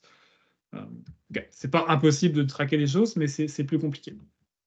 Euh, le point négatif de ça, c'est que en utilisant l'interface de base Microsoft Search, il y a comme une boucle de rétroaction sur la, pertinence des résultats. C'est-à-dire que quand vous cliquez sur un item, ça va rajouter. L'algorithme, je ne le connais pas en arrière, puis personne ne le connaît au final, par les équipes de Microsoft. Mais globalement, ça va, ça va mettre du poids un peu plus sur ton résultat. vous comprenez l'idée, il, y a du renforcement en fait qui est fait. Ça, c'est en utilisant les outils Microsoft. Quand vous utilisez du custom, vous n'avez pas cette boucle de rétroaction-là, en fait. Vous ne pouvez pas la faire, en fait. Donc, ça vous donne, encore une fois, ce n'est pas mesurable en tant que tel, mais hein, dans la théorie, ça vous donne des résultats peut-être moins pertinents, mais encore une fois, c'est difficile à démontrer. Mais en tout cas, la boucle de rétroaction n'existe pas dans, le custom, juste pour, euh, pour, vous informer. Euh, voilà. Donc, il faut le faire un petit peu plus euh, à la main, on va dire, même si c'est quand même pas, pas critique non plus. On a aussi un user voice interne pour le search. Donc, si jamais les gens veulent mettre du feedback, etc.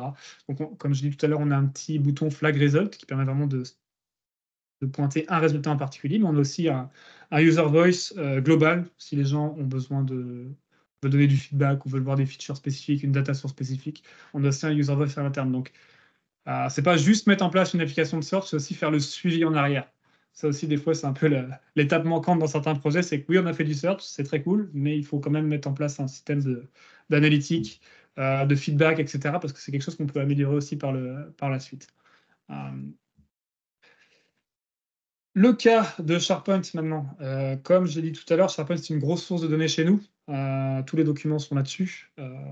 et si vous avez suivi l'approche, le search est un service, on peut utiliser n'importe où, et le n'importe où veut dire aussi SharePoint. Mais le problème avec SharePoint, c'est qu'on peut faire, pour s'intégrer avec SharePoint, il faut faire un truc qui s'appelle le SPFX, on n'a pas le choix d'utiliser ça.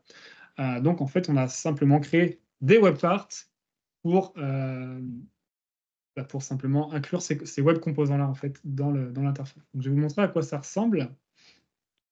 Euh, je vais prendre un site, ouais, je vais ça ici.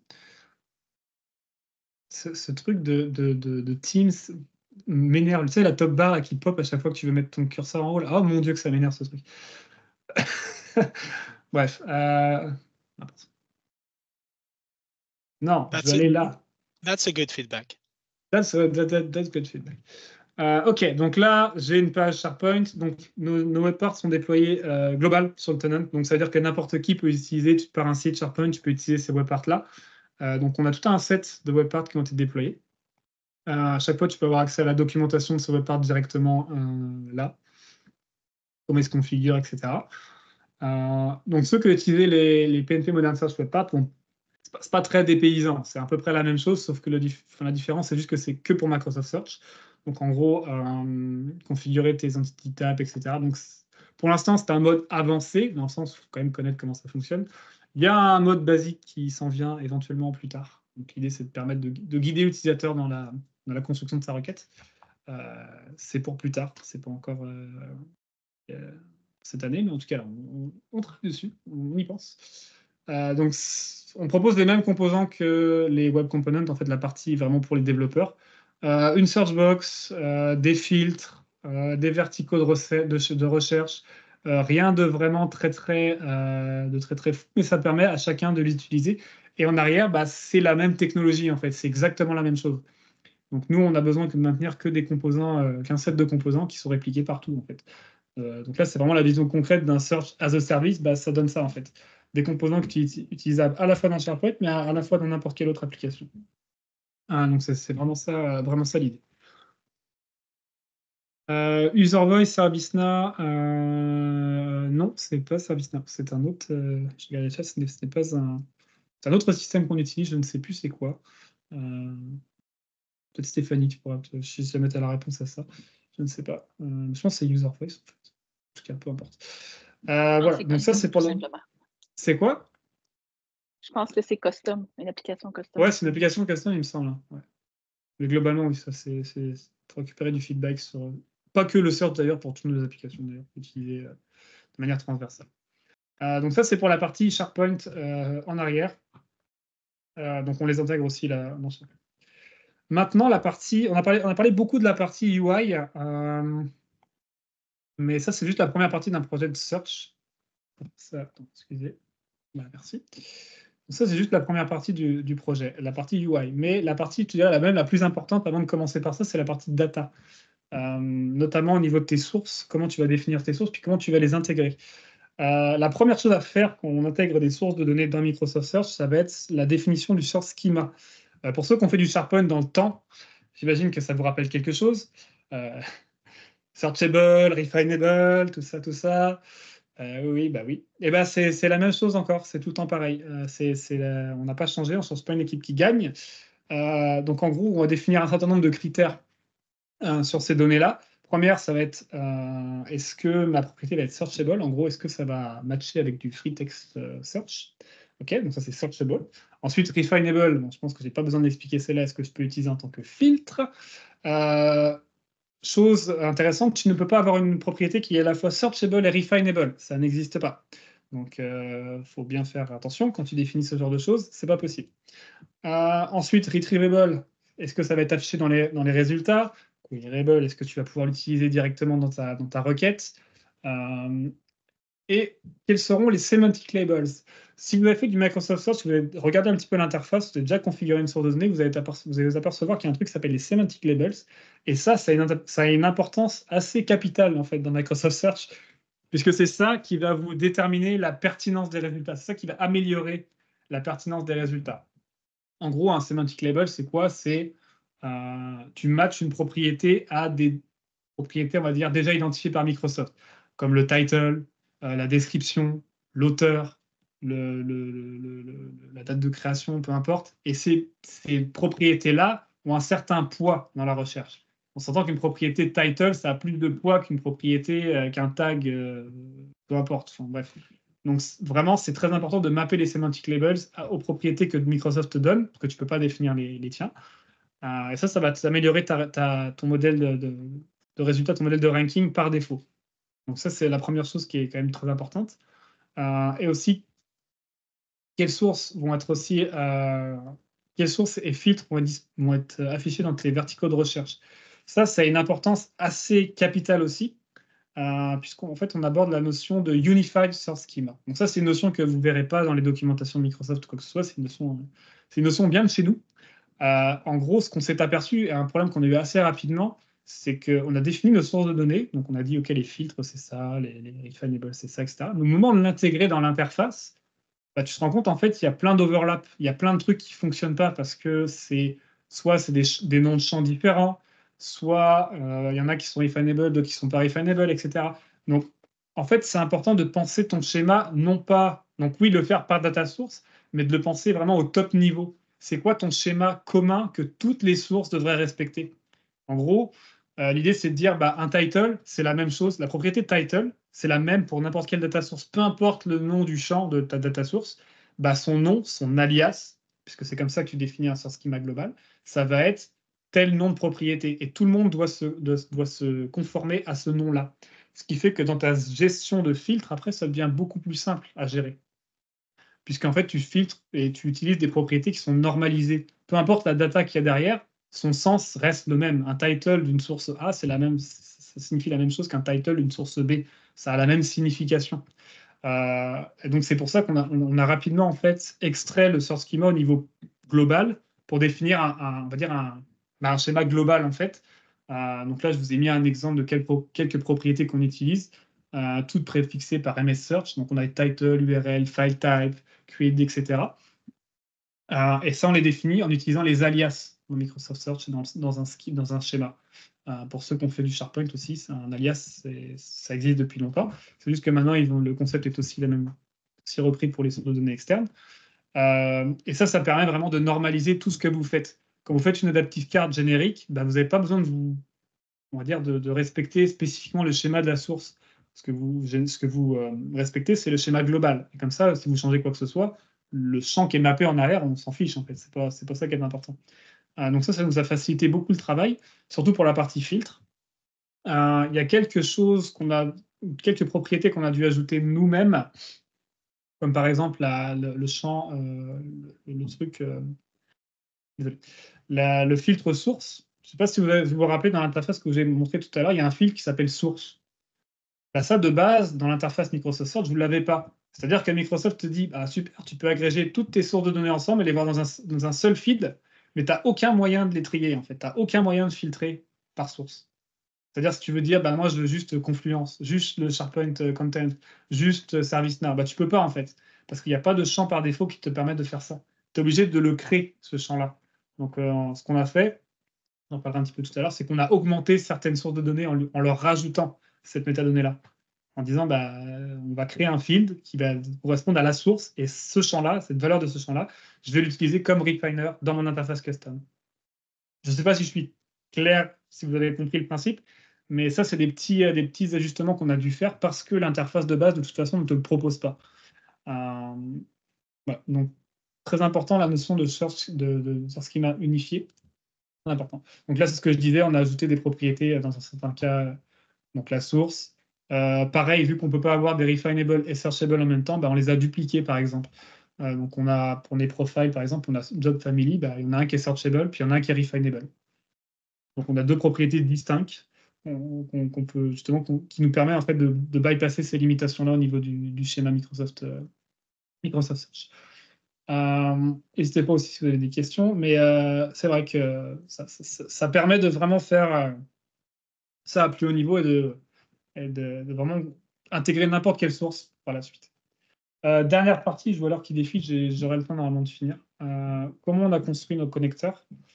Comme je disais tout à l'heure, il on a utilisé le SDK.NET. c'est marrant parce que je vois des fois, en ce moment, beaucoup de publicité autour des graphes connecteurs, mais le SDK.NET, je le vois nulle part en fait. Il n'y a personne qui fait la promotion de ce truc, mais par contre, tout le monde fait la promotion des API de, de, graphes pour créer, pour créer des connecteurs. Je ne sais pas si vous les avez vus, celles-là. Parce qu'en gros, les graphes connecteurs, c'est une API où tu peux en gros indexer du contenu, etc. Mais euh, personne ne te parle qu'il y a un SDK qui permet de le faire sans galérer à faire ça directement avec l'API en fait. Euh, et ça, je trouve ça relativement bizarre. Je ne sais pas pourquoi.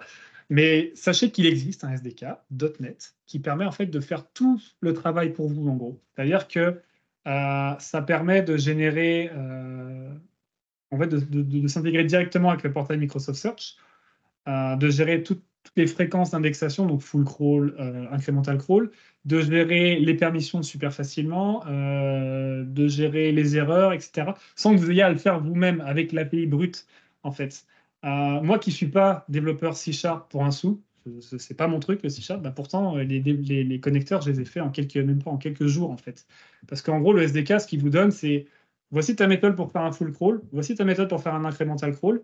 Après, la complexité revient en fait euh, à ta source de données. Comment tu te connectes à ta source de données? C'est tout. en fait. Est-ce que c'est compliqué de se connecter à WordPress? Est-ce que c'est compliqué de se connecter à une table SQL Elle est là la complexité en fait. Mais la partie euh, Microsoft Search Connector, elle n'est pas compliquée. Euh, alors, je ne sais pas si j'ai un exemple euh, ici. mais globalement, ce que vous. Non, je n'ai pas d'exemple ici, malheureusement. Mais ça, vous, ça vous prend, par contre, Visual Studio, le, client lourd, pour créer ça. et globalement, bah, ce que vous avez à faire, c'est simplement remplir les méthodes. La manière dont ça fonctionne, c'est que vous déployez ça, c'est une application .NET, une application console que vous déployez sur, un agent, ce qu'ils appellent un agent, euh, qui est en gros une VM, euh, qui peut être euh, un peu n'importe où, peu importe. En fait, ça peut être votre propre machine locale ou ça peut être une VM qui est provisionnée spécifiquement dans votre environnement, où cet agent-là est installé. Il se connecte à, Microsoft Search, en fait, il, ingère les, les, et il indexe votre, votre source de données, en fait. Et vous pouvez créer ce connecteur-là directement depuis le portail Microsoft Search. Donc, quand je parle de, Microsoft Search Connector, je vais juste aller. Ici. Ah, ce truc de. Désolé, ça, m'énerve ce truc. Attends. Ah là là. Je peux pas le, virer, cette barre de. Ça peut pas. Hein.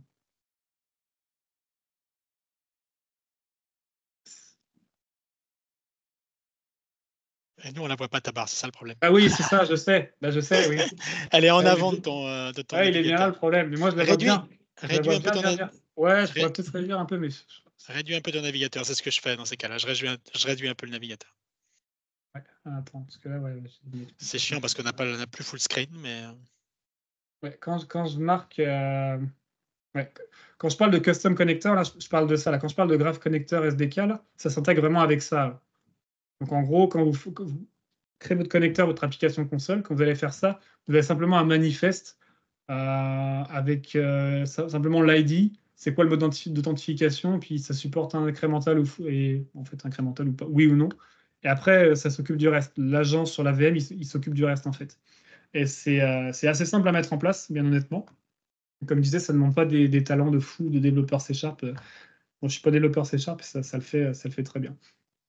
Euh, c'est souvent, c'est souvent pas le connecteur en lui-même qui est le problème, mais comme tu l'as dit, c'est tu fais appel à une source, tu fais appel à une source externe qui est quelque part avec ses propres règles d'accès de réseau, ses propres permissions, ses propres. Donc, euh, on a toutes les problématiques liées au connecteur qu'on a un peu partout, euh, y compris dans la Power Platform. C'est la charge de, que va entraîner chacune des requêtes que tu vas, que tu vas aller emmener. Enfin, bref, je Exactement. Une parenthèse. Bah, c'est tout à fait ça en fait. Euh, pareil pour ceux qui seraient tentés de dire ah je vais optimiser, euh, je vais, je vais faire mes euh, dans, dans, mon crawling, je vais faire plein de trucs par batch en parallèle. Bah, en fait non parce que de toute non, mais de toute façon la, la, la, capacité en fait de, de, de l'API d'ingestion de Microsoft Graph elle est limitée. Donc tu vas te faire tu vas te faire limiter de toute façon par l'API. Donc ça sert à rien d'envoyer 10 000 requêtes d'un coup. De toute façon tu vas te faire donc ça sert à rien de faire du batch ou du multithread. De toute façon, il y a un threshold quelque part, donc ça ne marche pas. Je ne connais plus les, les, les, les, valeurs, mais globalement, ça va relativement vite. Euh, donc l'algorithme de crawl, il est relativement simple. Tant que j'ai des données, je les ramène par page, j'ingère, et voilà, c'est tout. C'est juste ça. Euh, la, manière dont c'est fait, c'est que pour chaque item, donc ça s'appelle un crawl item, tu vas pouvoir mapper ce qu'on appelle des ACL, donc les permissions qui sont en gros associées à ton item. Et là, tu peux lui passer euh, bah, un user, un groupe, ce genre de choses. Et après, lui, ces permissions-là sont résolues en fait au, runtime. Euh, donc évidemment, quand vous construisez un connecteur comme ça, c'est évidemment c'est mieux de mettre des groupes plutôt que des utilisateurs euh, individuels. Pour une raison simple, c'est que ces permissions-là, euh, si vous mettez un groupe, ça va être résolu. Si vous changez l'utilisateur de groupe, bah, ça va être résolu runtime. Si vous, par contre, si vous avez mis une liste d'utilisateurs, bah, ce sera effectif au prochain crawl. Voilà, ça peut poser quelques problèmes de sécurité.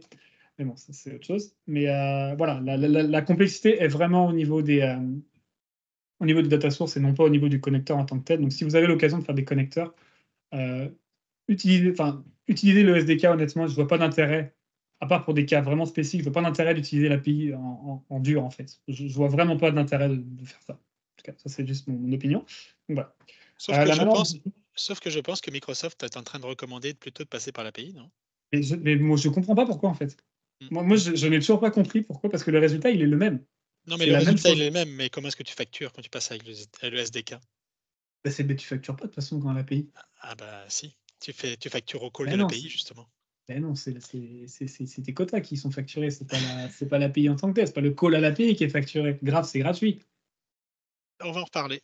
On s'en parlera. Ah. non, tu vois, oui, ok, mais non, non, c'est pas tout à fait. Oui, mais non, non, c'est pas la même chose. Mais globalement, parce que le connecteur, ce qu'il fait, lui, il utilise les mêmes API hein, derrière. C'est ça qu'il fait. Donc bon, ça si vous avez l'occasion. Nous, on l'a utilisé, ça marche très bien. Euh, c'est très simple à faire.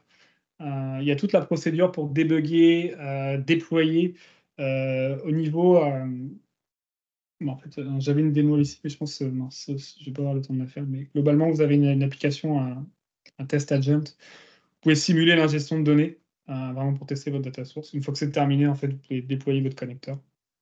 Et, euh, ça se passe relativement bien. Au niveau du DevOps, bah, comme je disais, c'est une application console, donc le DevOps, il est assez, simple. Je build, je prends le dossier et je le mets sur une VM. Et voilà, c'est ça le, DevOps. Donc, il n'y a pas vraiment de, difficulté. La chose importante à savoir, c'est bien dimensionner euh, vos VM, euh, surtout en fonction de la data source que vous allez indexer. Un exemple tout bête, genre on a Confluence chez nous, ok, c'est la plus grosse source de données euh, externe à, indexer. ce qui fait l'agent quand il crawl une source de données, c'est qu'il fait quasiment une locale copie en fait sur le disque des données. Donc si vous n'avez pas prévu de disque assez gros, bah, ça va vite poser problème. Pareil au niveau des performances, on a vu aussi des consommations de mémoire assez importantes, etc. Donc il faut vraiment dimensionner, euh, quitte à faire, différents, à faire des agents spécifiques pour telle source de données. Par exemple, Confluence, nous, c'est une VM séparée. Et les autres, c'est une autre VM. Parce que justement, les contraintes font que euh, c'est plus efficace dans ce, dans ce, dans ce cas-là.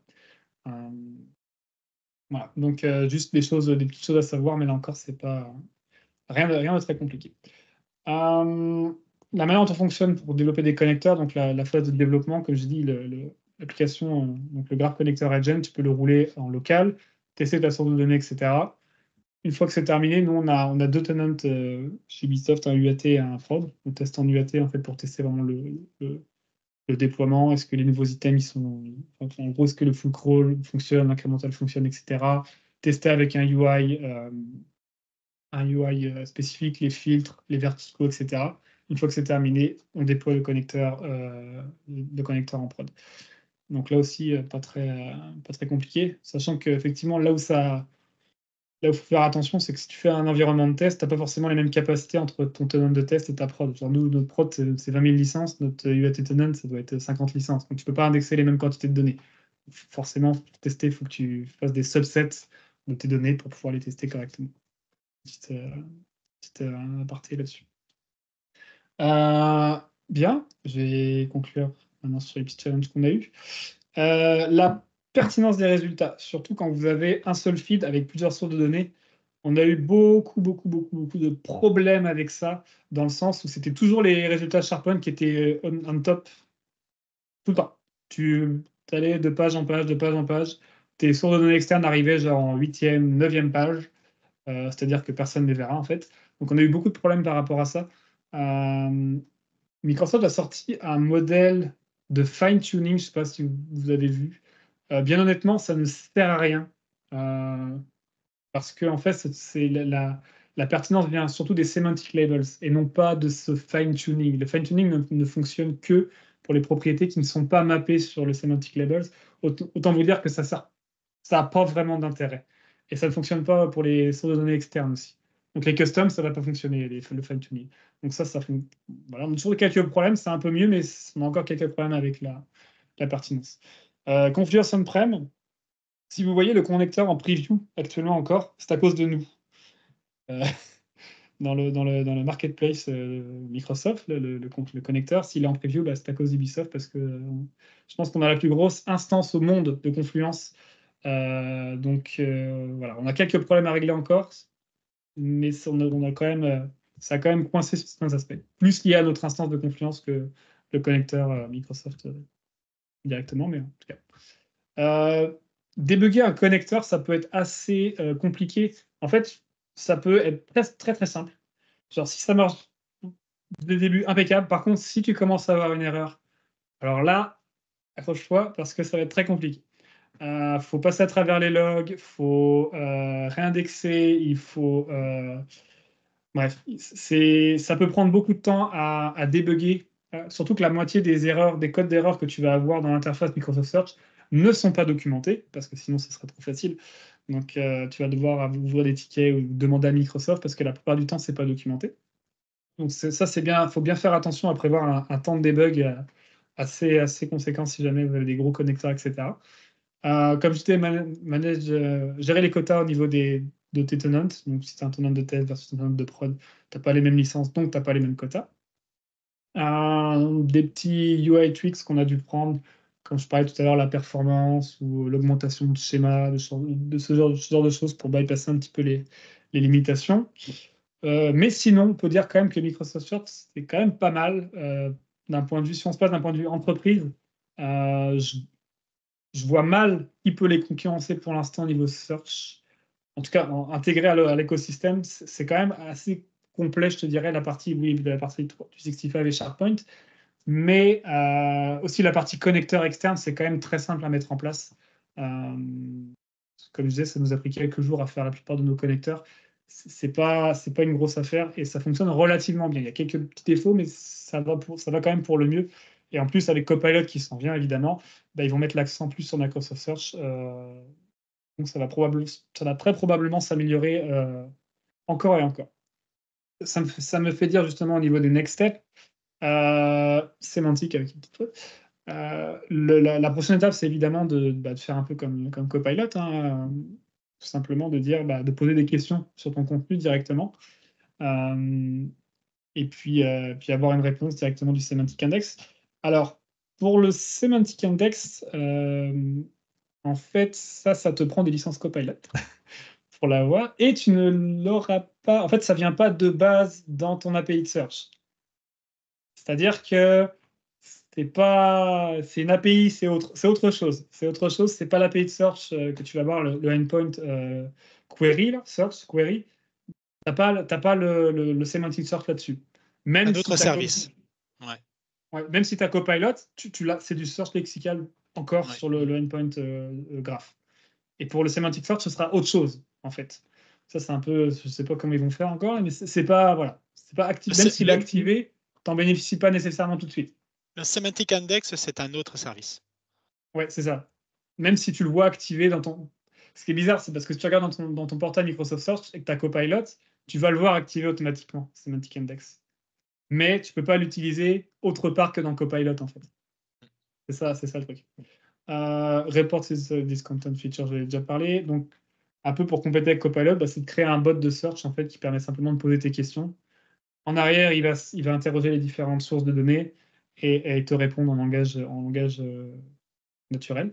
Donc, euh, c'est ça les, les, prochaines étapes. On est, on, est, euh, on est en plein dedans. Donc, intégrer plus de sources, les composants, etc et euh, continuer à mettre de la pression, de la saine pression sur Microsoft pour, euh, améliorer leur, API, surtout pour avoir une, euh, des résultats qui sont pertinents, parce que des fois c'est un peu compliqué.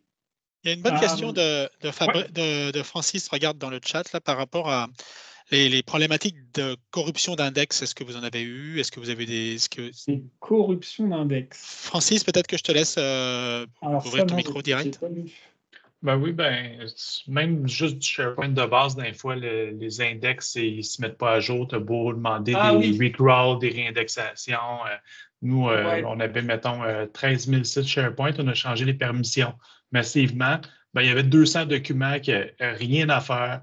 Ça apparaissait même si les gens n'avaient pas les permissions. Ça a pris minimum trois mois avec Microsoft, euh, leur super service 5 étoiles, là, à, finir par escalader ça au Product Group qui après un mois, réussi à corriger le problème.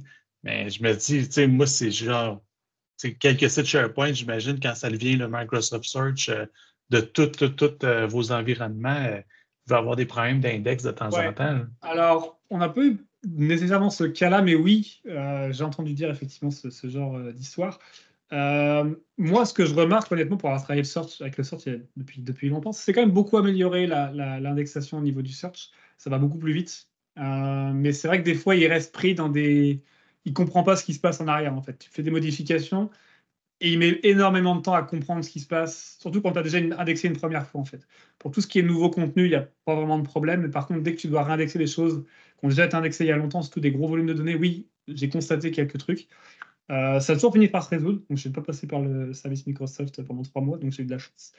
Euh, c'est vrai que l'avantage que tu as, Microsoft Search, c'est pour toutes les sources externes, tu contrôles encore l'indexation, le, full et le incrémental. Donc ça, à la limite, c'est bien parce que c'est comme avant, sur SharePoint on-prem. Tu peux vraiment refaire un full crawl, refaire un incremental crawl si tu as un, index corrompu. Mais c'est vrai que pour SharePoint, tu ne peux, pas, tu peux plus le faire depuis longtemps non?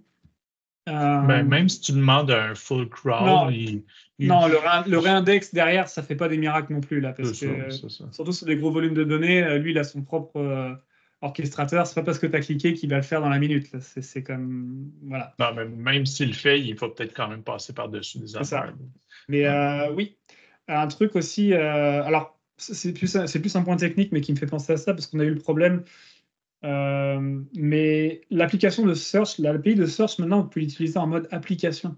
Application permission. Je ne sais pas si vous avez, euh, vu ça. Mais ça, ça permet beaucoup de nouveaux use cases, en fait. Juste pour vous, euh, vous dire. C'est pas juste maintenant délégué, accès délégué, comme c'est-à-dire je suis connecté en tant que user, je consomme mes résultats, je vois sur quoi j'ai accès. Vous pouvez aussi utiliser Search maintenant en mode application, en back-end.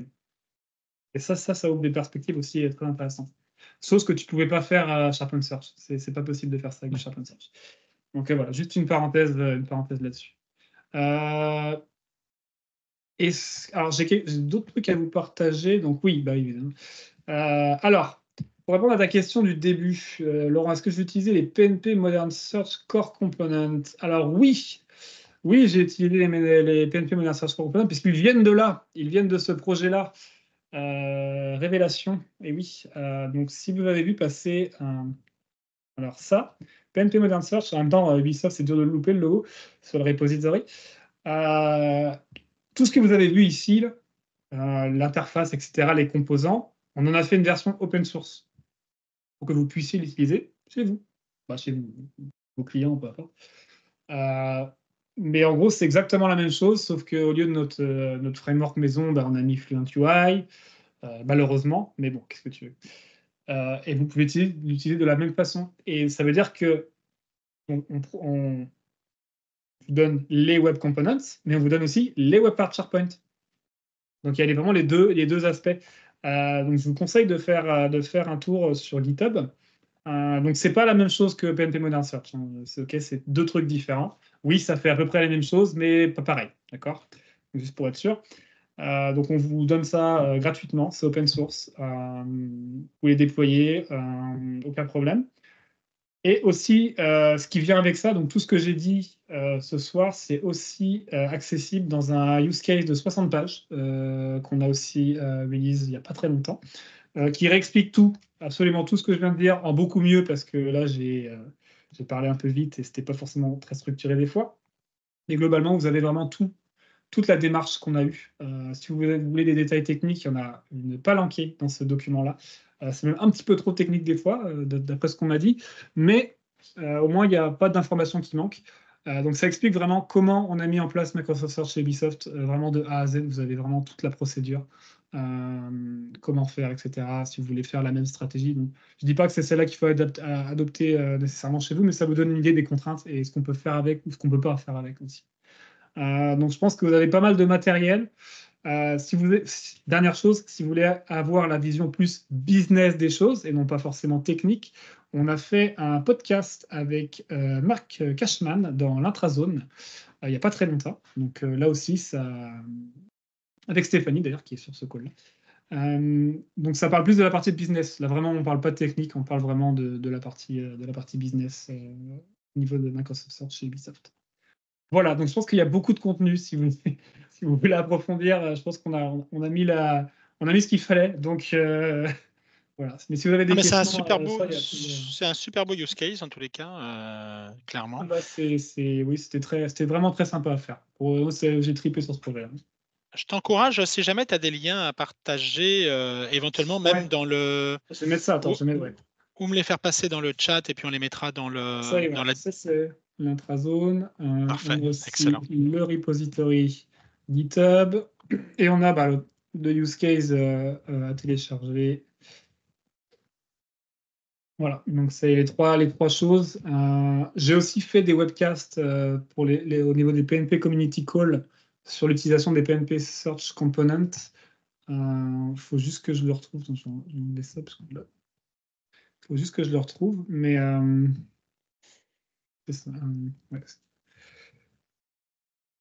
Euh. Modern Search Core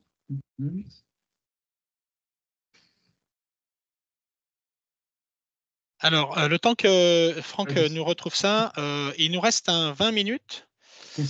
Euh, c'est ça. Vous avez le. En fait, je vais vous laisser le choix. Soit on se garde les 20 dernières minutes pour poser des questions à Franck, soit euh, vous voulez que Laurent vous montre ce qu'il avait préparé pour vous par rapport à SharePoint et OneDrive.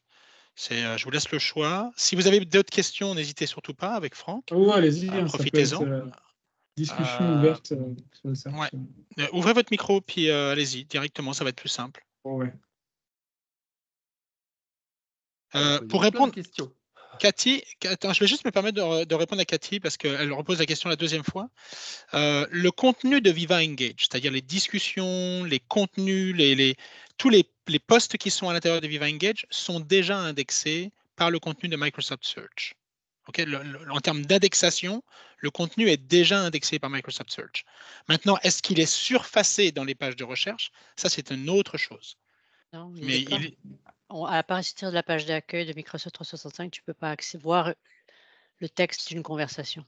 C'est ce que je viens de te dire, euh, Cathy. C'est que euh, le, le, client de recherche aujourd'hui ne permet pas de requêter les, éléments qui sont à mmh. l'intérieur d'Engage depuis la page de Microsoft 365 et c'est limité uniquement au client Engage pour l'instant. Mais le contenu des discussions et la totalité du contenu est indexé. Donc, mmh tu poses la question comme source de recherche. En fait, le contenu est déjà indexé. C'est juste que oui, je comprends. ça dépend comment tu le requêtes. ah oui, ok. Mais bon. Mais, en fait, oui, donc la réponse c'est oui, mais ça ne sert à rien. Sauf dans, dans Yammer. Sauf dans Engage. Dans Engage. Ouais. C'est pour ça que Yammer, ça ne marche pas. Peut-être, mais. Euh, ah, ça peut être une bonne raison. Bah, je, te laisserai en parler avec le produit groupe si, si ça marche pas. Merci, euh, Nicolas. Je t'en prie. Laurent, tu avais des, des, des points? Euh, Bon, une bonne partie a déjà été répondue. Évidemment, il y a toute la doc euh, à lire. Je t'avouerai que j'ai un peu la flamme de tout lire. Il y a beaucoup de pages.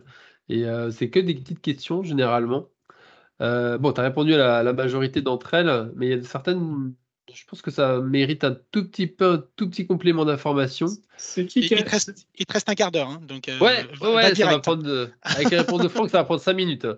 Euh, il y en a deux Alors, par rapport aux différentes sources euh, de données, comment est-ce que vous avez géré les permissions? Si par exemple, on parle d'une base de données qui n'a rien à voir avec des permissions, pour que ça apparaisse, disparaisse, comment ça a été géré en arrière? Quand tu crées une source de données, en fait, tu as le choix de dire bah, soit c'est une source de données anonyme, bon, bah là, tu t'embêtes pas avec les permissions soit tu. Euh, alors, je vais faire la distinction entre les connecteurs euh, que, Microsoft te propose et les custom. Pour les connecteurs que Microsoft te propose, tu as souvent, pas, tout, pas toujours, la possibilité de faire des mappings. Par exemple, pour Confluence, mettons, tu indexes un, un, domaine qui est différent de celui sur lequel tu consommes. Tu peux faire des mappings au niveau des, des, identités, des noms de domaine pour, pour qu'il fasse la résolution tout seul. Normalement, il est capable de gérer ça tout seul. Dans les customs, en fait, il faut que tu mappes des ACL à chaque item. Donc, comme j'ai dit, un ACL, ça peut être un groupe, ça peut être un, user spécifique, un ID, peu importe. Euh, ça marche bien quand c'est du, AD à AD, en fait. Azure AD vers Azure AD, il n'y a pas de problème. Quand tu es sur le même domaine, aucun problème.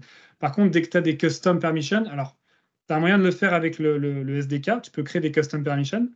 Euh, mais nous, ce qu'on a fait, par exemple, quand on avait, on avait un système dans WordPress, par exemple, qui te gérait des conditions de, les permissions selon des conditions de ton profil. Par exemple, tu es sur tel bureau à Montréal, tu appartiens à tel groupe, tu as accès à tel poste. Mais ce n'est pas de, de l'AD en fait. Donc nous, ce qu'on a fait, plutôt que de se galérer avec un système comme ça, euh, on est chanceux, on a du P2, Azure, Azure AD, donc on a fait des dynamic groups. Donc on s'est dit, en fait, euh, bah, on, va, reprendre cette notion-là, mais on va la traduire en Azure AD, c'est-à-dire que les utilisateurs qui ont telle, telle, propriété de profil dans leur euh, bah, telle propriété dans leur profil, on va créer un groupe dynamique, et ensuite ce groupe dynamique, on va le mapper à l'item. Comme ça, après, c'est résolu automatiquement. Donc oui, ça prend du P2, mais ça permet de, bypasser en fait le, problème de permission. Euh, mais ça, c'est très spécifique à la données qu'on avait. Mais, euh, ça peut être, ça peut une solution. Sinon, le, SDK le supporte, mais je t'avouerai que je n'ai pas testé ce, use case-là. Ça dit que ça le supporte, mais je ne l'ai pas testé. D'accord. Euh, l'autre question que j'avais en suspens, c'était euh, puisqu'on sait que Ubisoft est quand même un gros contributeur chez Microsoft, hein, notamment que Microsoft a mis beaucoup de choses en place pour Ubisoft, notamment, est-ce que lors de ce développement, est-ce que tu as dû ouvrir des tickets, euh, genre pour MS Graph, et que du coup ils ont mis en priorité, genre est-ce qu'ils ont ouvert un endpoint ou est-ce qu'ils ont rajouté un drive ou un truc dans ce goût-là pour exprès pour que Ubisoft puisse euh, aller de l'avant? Euh, Alors, sur la partie API, euh, ça a été plus des améliorations, on va dire, au cas par cas. là où Microsoft a vraiment poussé les trucs juste pour nous, c'est vraiment pour les parties et les connecteurs de données. Par exemple, le Confluence, c'est clair qu'on était quasiment les seuls à l'utiliser, à l'utiliser en fait. pour la partie API, je te dirais que c'était relativement pas vraiment. C'était plus des feedbacks par rapport à ce qu'eux faisaient, euh, mais ils n'ont pas modifié vraiment des choses juste pour nous. Euh, mais c'est plus pour la partie data en tout cas, par contre, pour les connecteurs. Ah oui. Ok. Et ma dernière question, on va dire euh, intéressante pour moi en tout cas. Est-ce que vous avez mis en place dans la recherche la partie géolocalisation? Non. Genre si je suis en Europe, ça recherche que les résultats en Europe ou les met en avant? Non. Il n'y a pas, a pas de, de Ok. C'est tout pour moi. Parfait. Est-ce qu'il y a. Denis, tu as une autre question? Oui. Bonsoir à tous. Oui, bonsoir à tous. Euh, j'ai une petite question, moi, pour euh, les sources de données externes et comment tu gères un peu l'extraction euh, sur des sites un peu déstructurés ou sur des WordPress? Est-ce que WordPress a une SPI d'extraction ou des sites de blog ou des sites maison qui ont un peu du, du code un peu déstructuré un peu à l'intérieur? Et c'est jamais vraiment déstructuré, en fait. Par exemple, WordPress, tu as déjà des métadatas. Tu en, as un paquet, en fait. Tu peux toujours euh, extraire des métadonnées de quelque chose, en fait. Et La même... des méta keyword Ouais, par exemple, euh, il y a un connecteur de, base euh, Microsoft Search qui est site web. Autant que site web, il n'y a pas plus déstructuré que ça. mais il est mm. capable, en fait, avec les balises HTML, certaines balises standards, d'extraire des métadonnées. le titre, d'où bête. Hein, tu as toujours un moyen d'extraire des métadonnées quelque part. Et si vraiment tu n'en as pas, bah, ça va être la propriété content et ça va être le, le, le, le texte. Puis that's it. D'accord. Le SEO, le SEO euh, sur des, sites traditionnels euh, impose quand même à ce que certaines balises, soient, certaines hmm. propriétés soient déjà définies. Donc, ça fait déjà un ensemble de choses qui, normalement, sont là en place, qui optimisent, qui sont supposées déjà optimiser la recherche. Euh, Microsoft hmm. ne fait que réutiliser finalement ces, métadonnées-là. C'est rare que tu aies une donnée data qui est vraiment pas structurée ou quoi. C'est très rare quand même. Je ne sais pas si tu as en tête là, mais c'est vrai que c'est quand même tu arrives toujours à trouver une métadonnée quelque part, des trucs pertinents. C'est vrai que ça disparaît de plus en plus, mais tu peux toujours avoir le bon vieux site euh, d'il y a 15 ans euh, avec des mises en page à, coup de, table ou des choses comme ça, avec aucun standard. Là, là tu es mieux de t'attaquer à la base de données en arrière de cette application-là, en fait. C'est ça qu'on fait. Voilà, Par exemple, WordPress, bon, non, non peut-être pas WordPress, c'est pas un bon exemple, mais on a des applications custom. Euh... Non, je dis WordPress, pas un bon exemple, parce qu'ils ont déjà un SDK qui a déjà toutes les métadonnées, donc au final, c'est facile. Mais par exemple, une, base une application pas, Angular avec du MongoDB en arrière, etc., bah, tu ne vas pas aller indexer le front-end. Tu vas aller indexer la MongoDB directement. Directement, ouais. Pareil pour, SQL et tout. Oui, c'est pareil. Est-ce que vous avez d'autres questions? Merci, Denis. Oui, non, c'est bon pour moi. Merci à tous. Merci. En fait, euh, euh, il reste 10 minutes. Hein. Donc, euh, il faut voir que chez Microsoft, la recherche, c'est quelque chose qui n'est pas unique.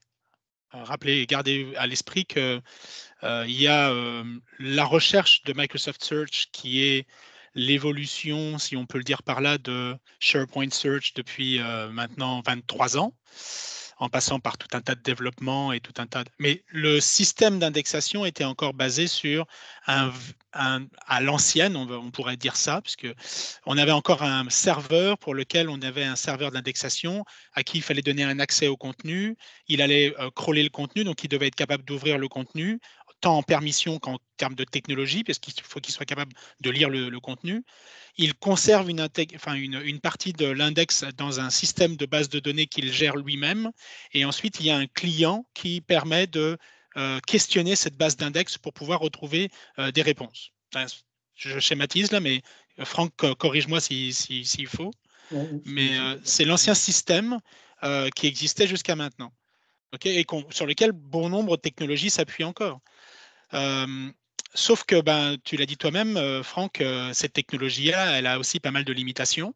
Euh, depuis maintenant dix ans à peu près, on, travaille de plus en plus sur des technologies qui sont un peu plus avancées aussi pour gérer les index.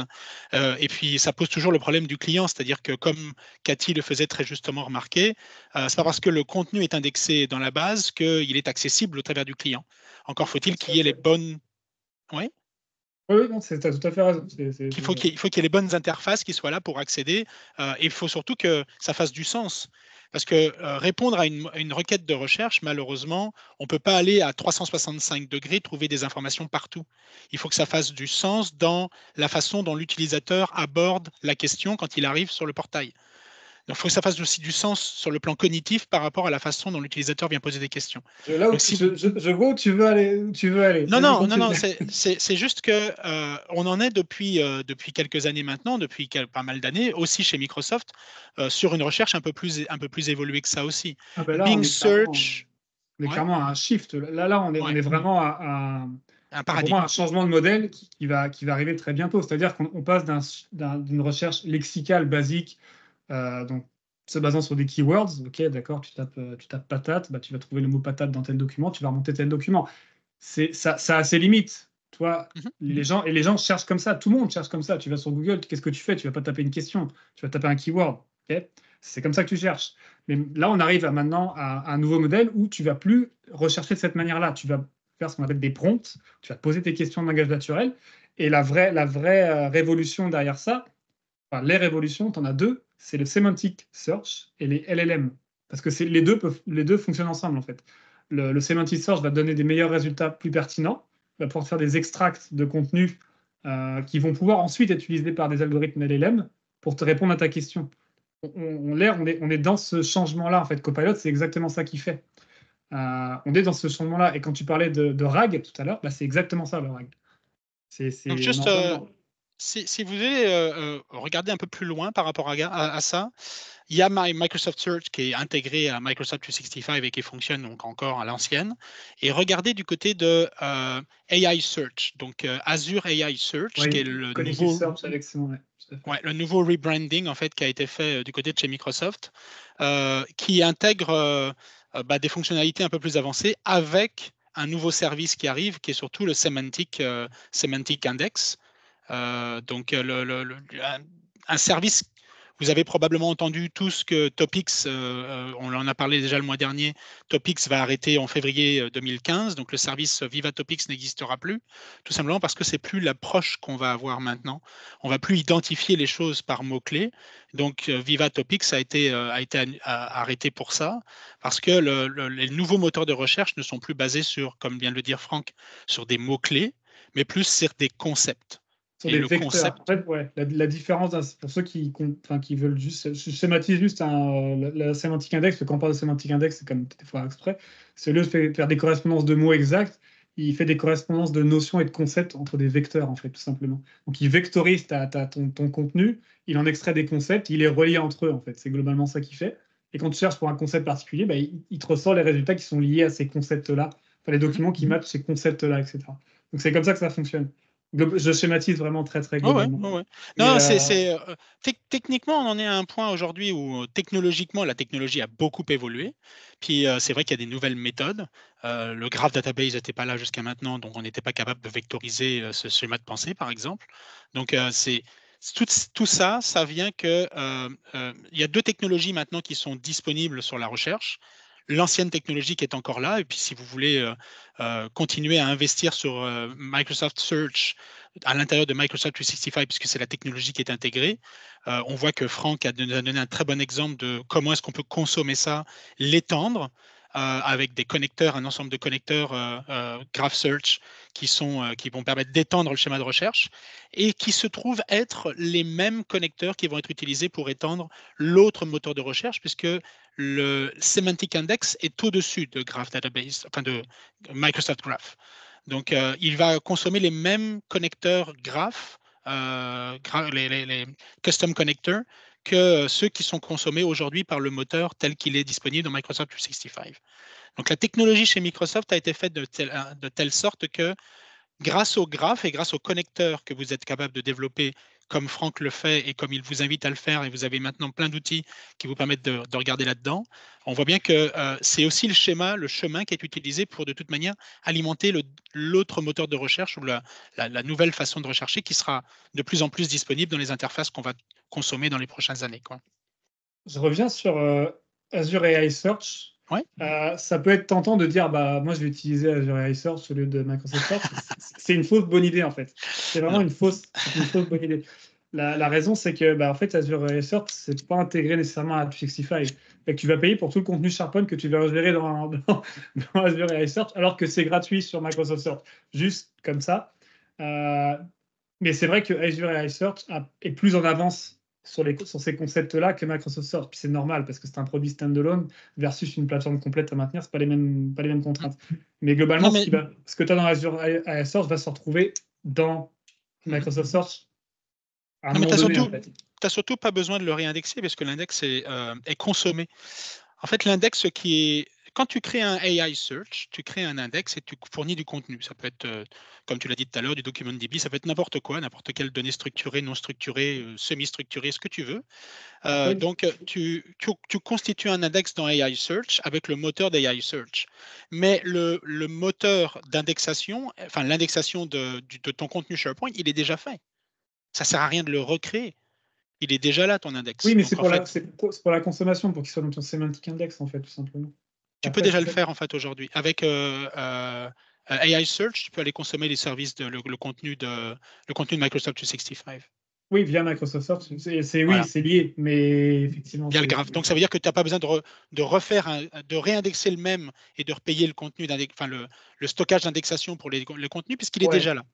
Mais c'est, je te laisse si tu veux investir sur une solution de search globale, pour moi, Microsoft Search fait beaucoup plus de sens dans un contexte festival que d'aller vers du Azure AI Search. Pour moi, mm-hmm. Azure AI Search, c'est vraiment pour des cas très spécifiques, applications custom, etc. Là, ça fait beaucoup de sens, mais pour un système global comme du 65, mm-hmm. euh, Microsoft Search fait, euh, à mon avis, va être bah, ça, de toute façon, c'est les deux, euh, de toute manière, qu'on va continuer à utiliser.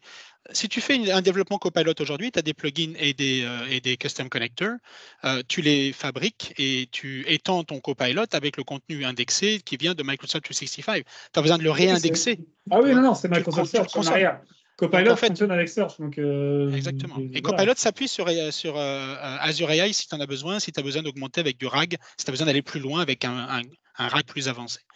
Donc, euh, mais on, si jamais vous avez des, des, des, questions par rapport au RAG, si ça vous parle, regardez sur, euh, sur Internet, c'est quand même quelque chose de très documenté depuis très longtemps.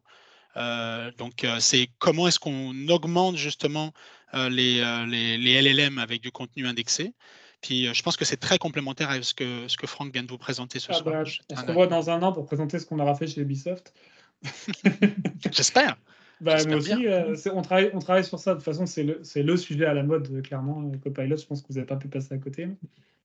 mais la première étape, c'est vraiment que c'est vraiment les data, Microsoft Search, etc. Il ne faut pas commencer par l'inverse en partant du, du, bot et puis ensuite se, se demander ce qu'il va, ce va chercher. Non, non, c'est vraiment partie data et ensuite LLM et tout, tout, ce qui s'ensuit, la RAG, etc. pour répondre à Benoît, effectivement, aujourd'hui, pour l'instant, le Semantic Index n'est accessible qu'au travers de Copilot. Oui. Pour l'instant. On ne sait pas encore ce que ça va devenir et on ne sait pas encore euh, comment, comment ça va se transformer. Mais pas accessible par le endpoint de base. Voilà. Research. Hmm. Même si c'est même si c'est activé. Mais euh, clairement, il y, a, y, a un shift qui se fait, un changement de paradigme au niveau de la, de la manière dont les gens accèdent à l'information. Ça, c'est très clair là. Peut-être aussi dans les, dans les, prochaines années. Peut-être aussi qu'on est arrivé à un moment où, comme, euh, comme dans Google au tout début, euh, quand il y avait 5000 éléments qui étaient indexés, c'était super rapide parce qu'on avait juste trois réponses, mais maintenant on a des millions de réponses. Euh, on a un peu le même problème dans Microsoft 365, c'est que au tout début, quand on avait quelques contenus qui étaient indexés ou dans SharePoint, quelques contenus qui étaient indexés, tout allait bien. Mais quand tu as plusieurs centaines de terras ou de pétaoctets de contenu euh, à indexer, euh, c'est sûr que. Ah, la, manière, tu vois, l'exemple de ça, c'est comment, comment on gère maintenant ce problème-là dans les, dans les interfaces modernes? Bah, C'est avec des verticaux, avec des filtres, avec du paging. C'est comme ça qu'on arrive à, à peu près à essayer de, de diriger l'utilisateur parce qu'on n'a pas d'autres outils, mais c'est sûr qu'avec un, avec des outils comme, comme Copilot, etc., où tu poses ta question directement et tu as, vraiment la réponse qui, s'affiche avec le document qui va bien, bah, c'est beaucoup plus simple. Plutôt que toi. les habitudes euh, des utilisateurs qui Ah oui, ça va clairement changer les habitudes. Puis on n'en est pas là. Hein. C'est les gens, ils vont pas changer du jour au lendemain euh, à, chercher en posant des questions, etc. Non, ils vont continuer à mettre des keywords de, base dans un moteur de recherche. Absolument. fait, puis, euh, et puis, ils l'ont bien dit, Microsoft, ils s'en rendent compte aussi. Ça, ils sont pas, on n'est pas, on pas Parfait. Ben, merci beaucoup, euh, Franck. On est euh, pas mal arrivé à 20 heures. Euh, est-ce que quelqu'un parmi vous a d'autres questions? Pour Franck Je peux, étendre si jamais il y a d'autres questions. de toute façon, je pense que Franck se fera un plaisir de venir prendre une bière avec nous. C'est le 18 avril? Ouais, la semaine eh prochaine. Ben, s'il ne neige pas, pourquoi pas on, va croiser les doigts. Euh, mais ça serait aussi l'occasion bah, de peut-être de recroiser euh, tout le monde, y compris Franck, et puis euh, venir prendre une bière, et puis, puis voilà, discuter de ce genre de sujet. On avait d'autres contenus qui étaient prêts avec Laurent, bah, on va le garder pour le, pour le, mois prochain, ou alors ben, Laurent, tu vas peut-être faire une petite vidéo YouTube aussi, et puis la nous la partager, si jamais tu, le souhaites, d'ici d'ici le mois prochain. On va parler de Copilot probablement. Le mois prochain, euh, on parle du 7 mai. Le 7 mai, on a un nouveau MVP 365 euh, à, Montréal et j'aimerais qu'il vienne nous présenter quelque chose. Donc, euh, on verra s'il est motivé à venir nous parler de, pour le, mois prochain, ça serait cool. Donc, euh, on va voir si, jamais Bastien a du temps et puis s'il est disponible. Sinon, bah, j'espère que vous aurez l'occasion de croiser Bastien peut-être euh, au, SharePoint, à la SharePoint ou, autre. Benoît, est-ce qu'il y en a qui vont à la conférence 365 à Orlando? Personnellement, non, mais je vous laisse répondre. Si quelqu'un parmi vous y va. On dirait que tu vas être tout seul. Euh, non, Stéphanie, tu, Stéphanie, tu fais du pouce? Oui, normalement, je devrais y aller. Ok. Bon, ben, Benoît, euh, Stéphanie devrait y être aussi. Euh, je réponds à la question de, Francis également. Où trouver l'enregistrement de la dernière conférence? Pour l'instant, sur mon disque dur, parce qu'il faut juste que je fasse une petite manipulation dessus avant de le publier pour, pour gommer certaines choses sur la vidéo. je m'en occupe le plus rapidement possible. Je pense que je devrais avoir du temps demain pour finir cette partie-là. Et donc, euh, l'enregistrement de ce soir et l'enregistrement de la semaine du mois dernier devraient être disponibles dans les prochains jours sur, euh, sur notre YouTube. OK? Excellent. Merci encore, euh, Franck. Merci beaucoup. Merci à vous. super contenu. C'était super cool. Et puis, ben, au plaisir de vous revoir, j'espère, à la SharePoint le 18 avril. Et sinon, ben, le 7 mai prochain. Yep, merci. Merci beaucoup. Merci. Bonne soirée, merci. Bye. Merci beaucoup. Merci, bonne soirée. Merci, bonne soirée.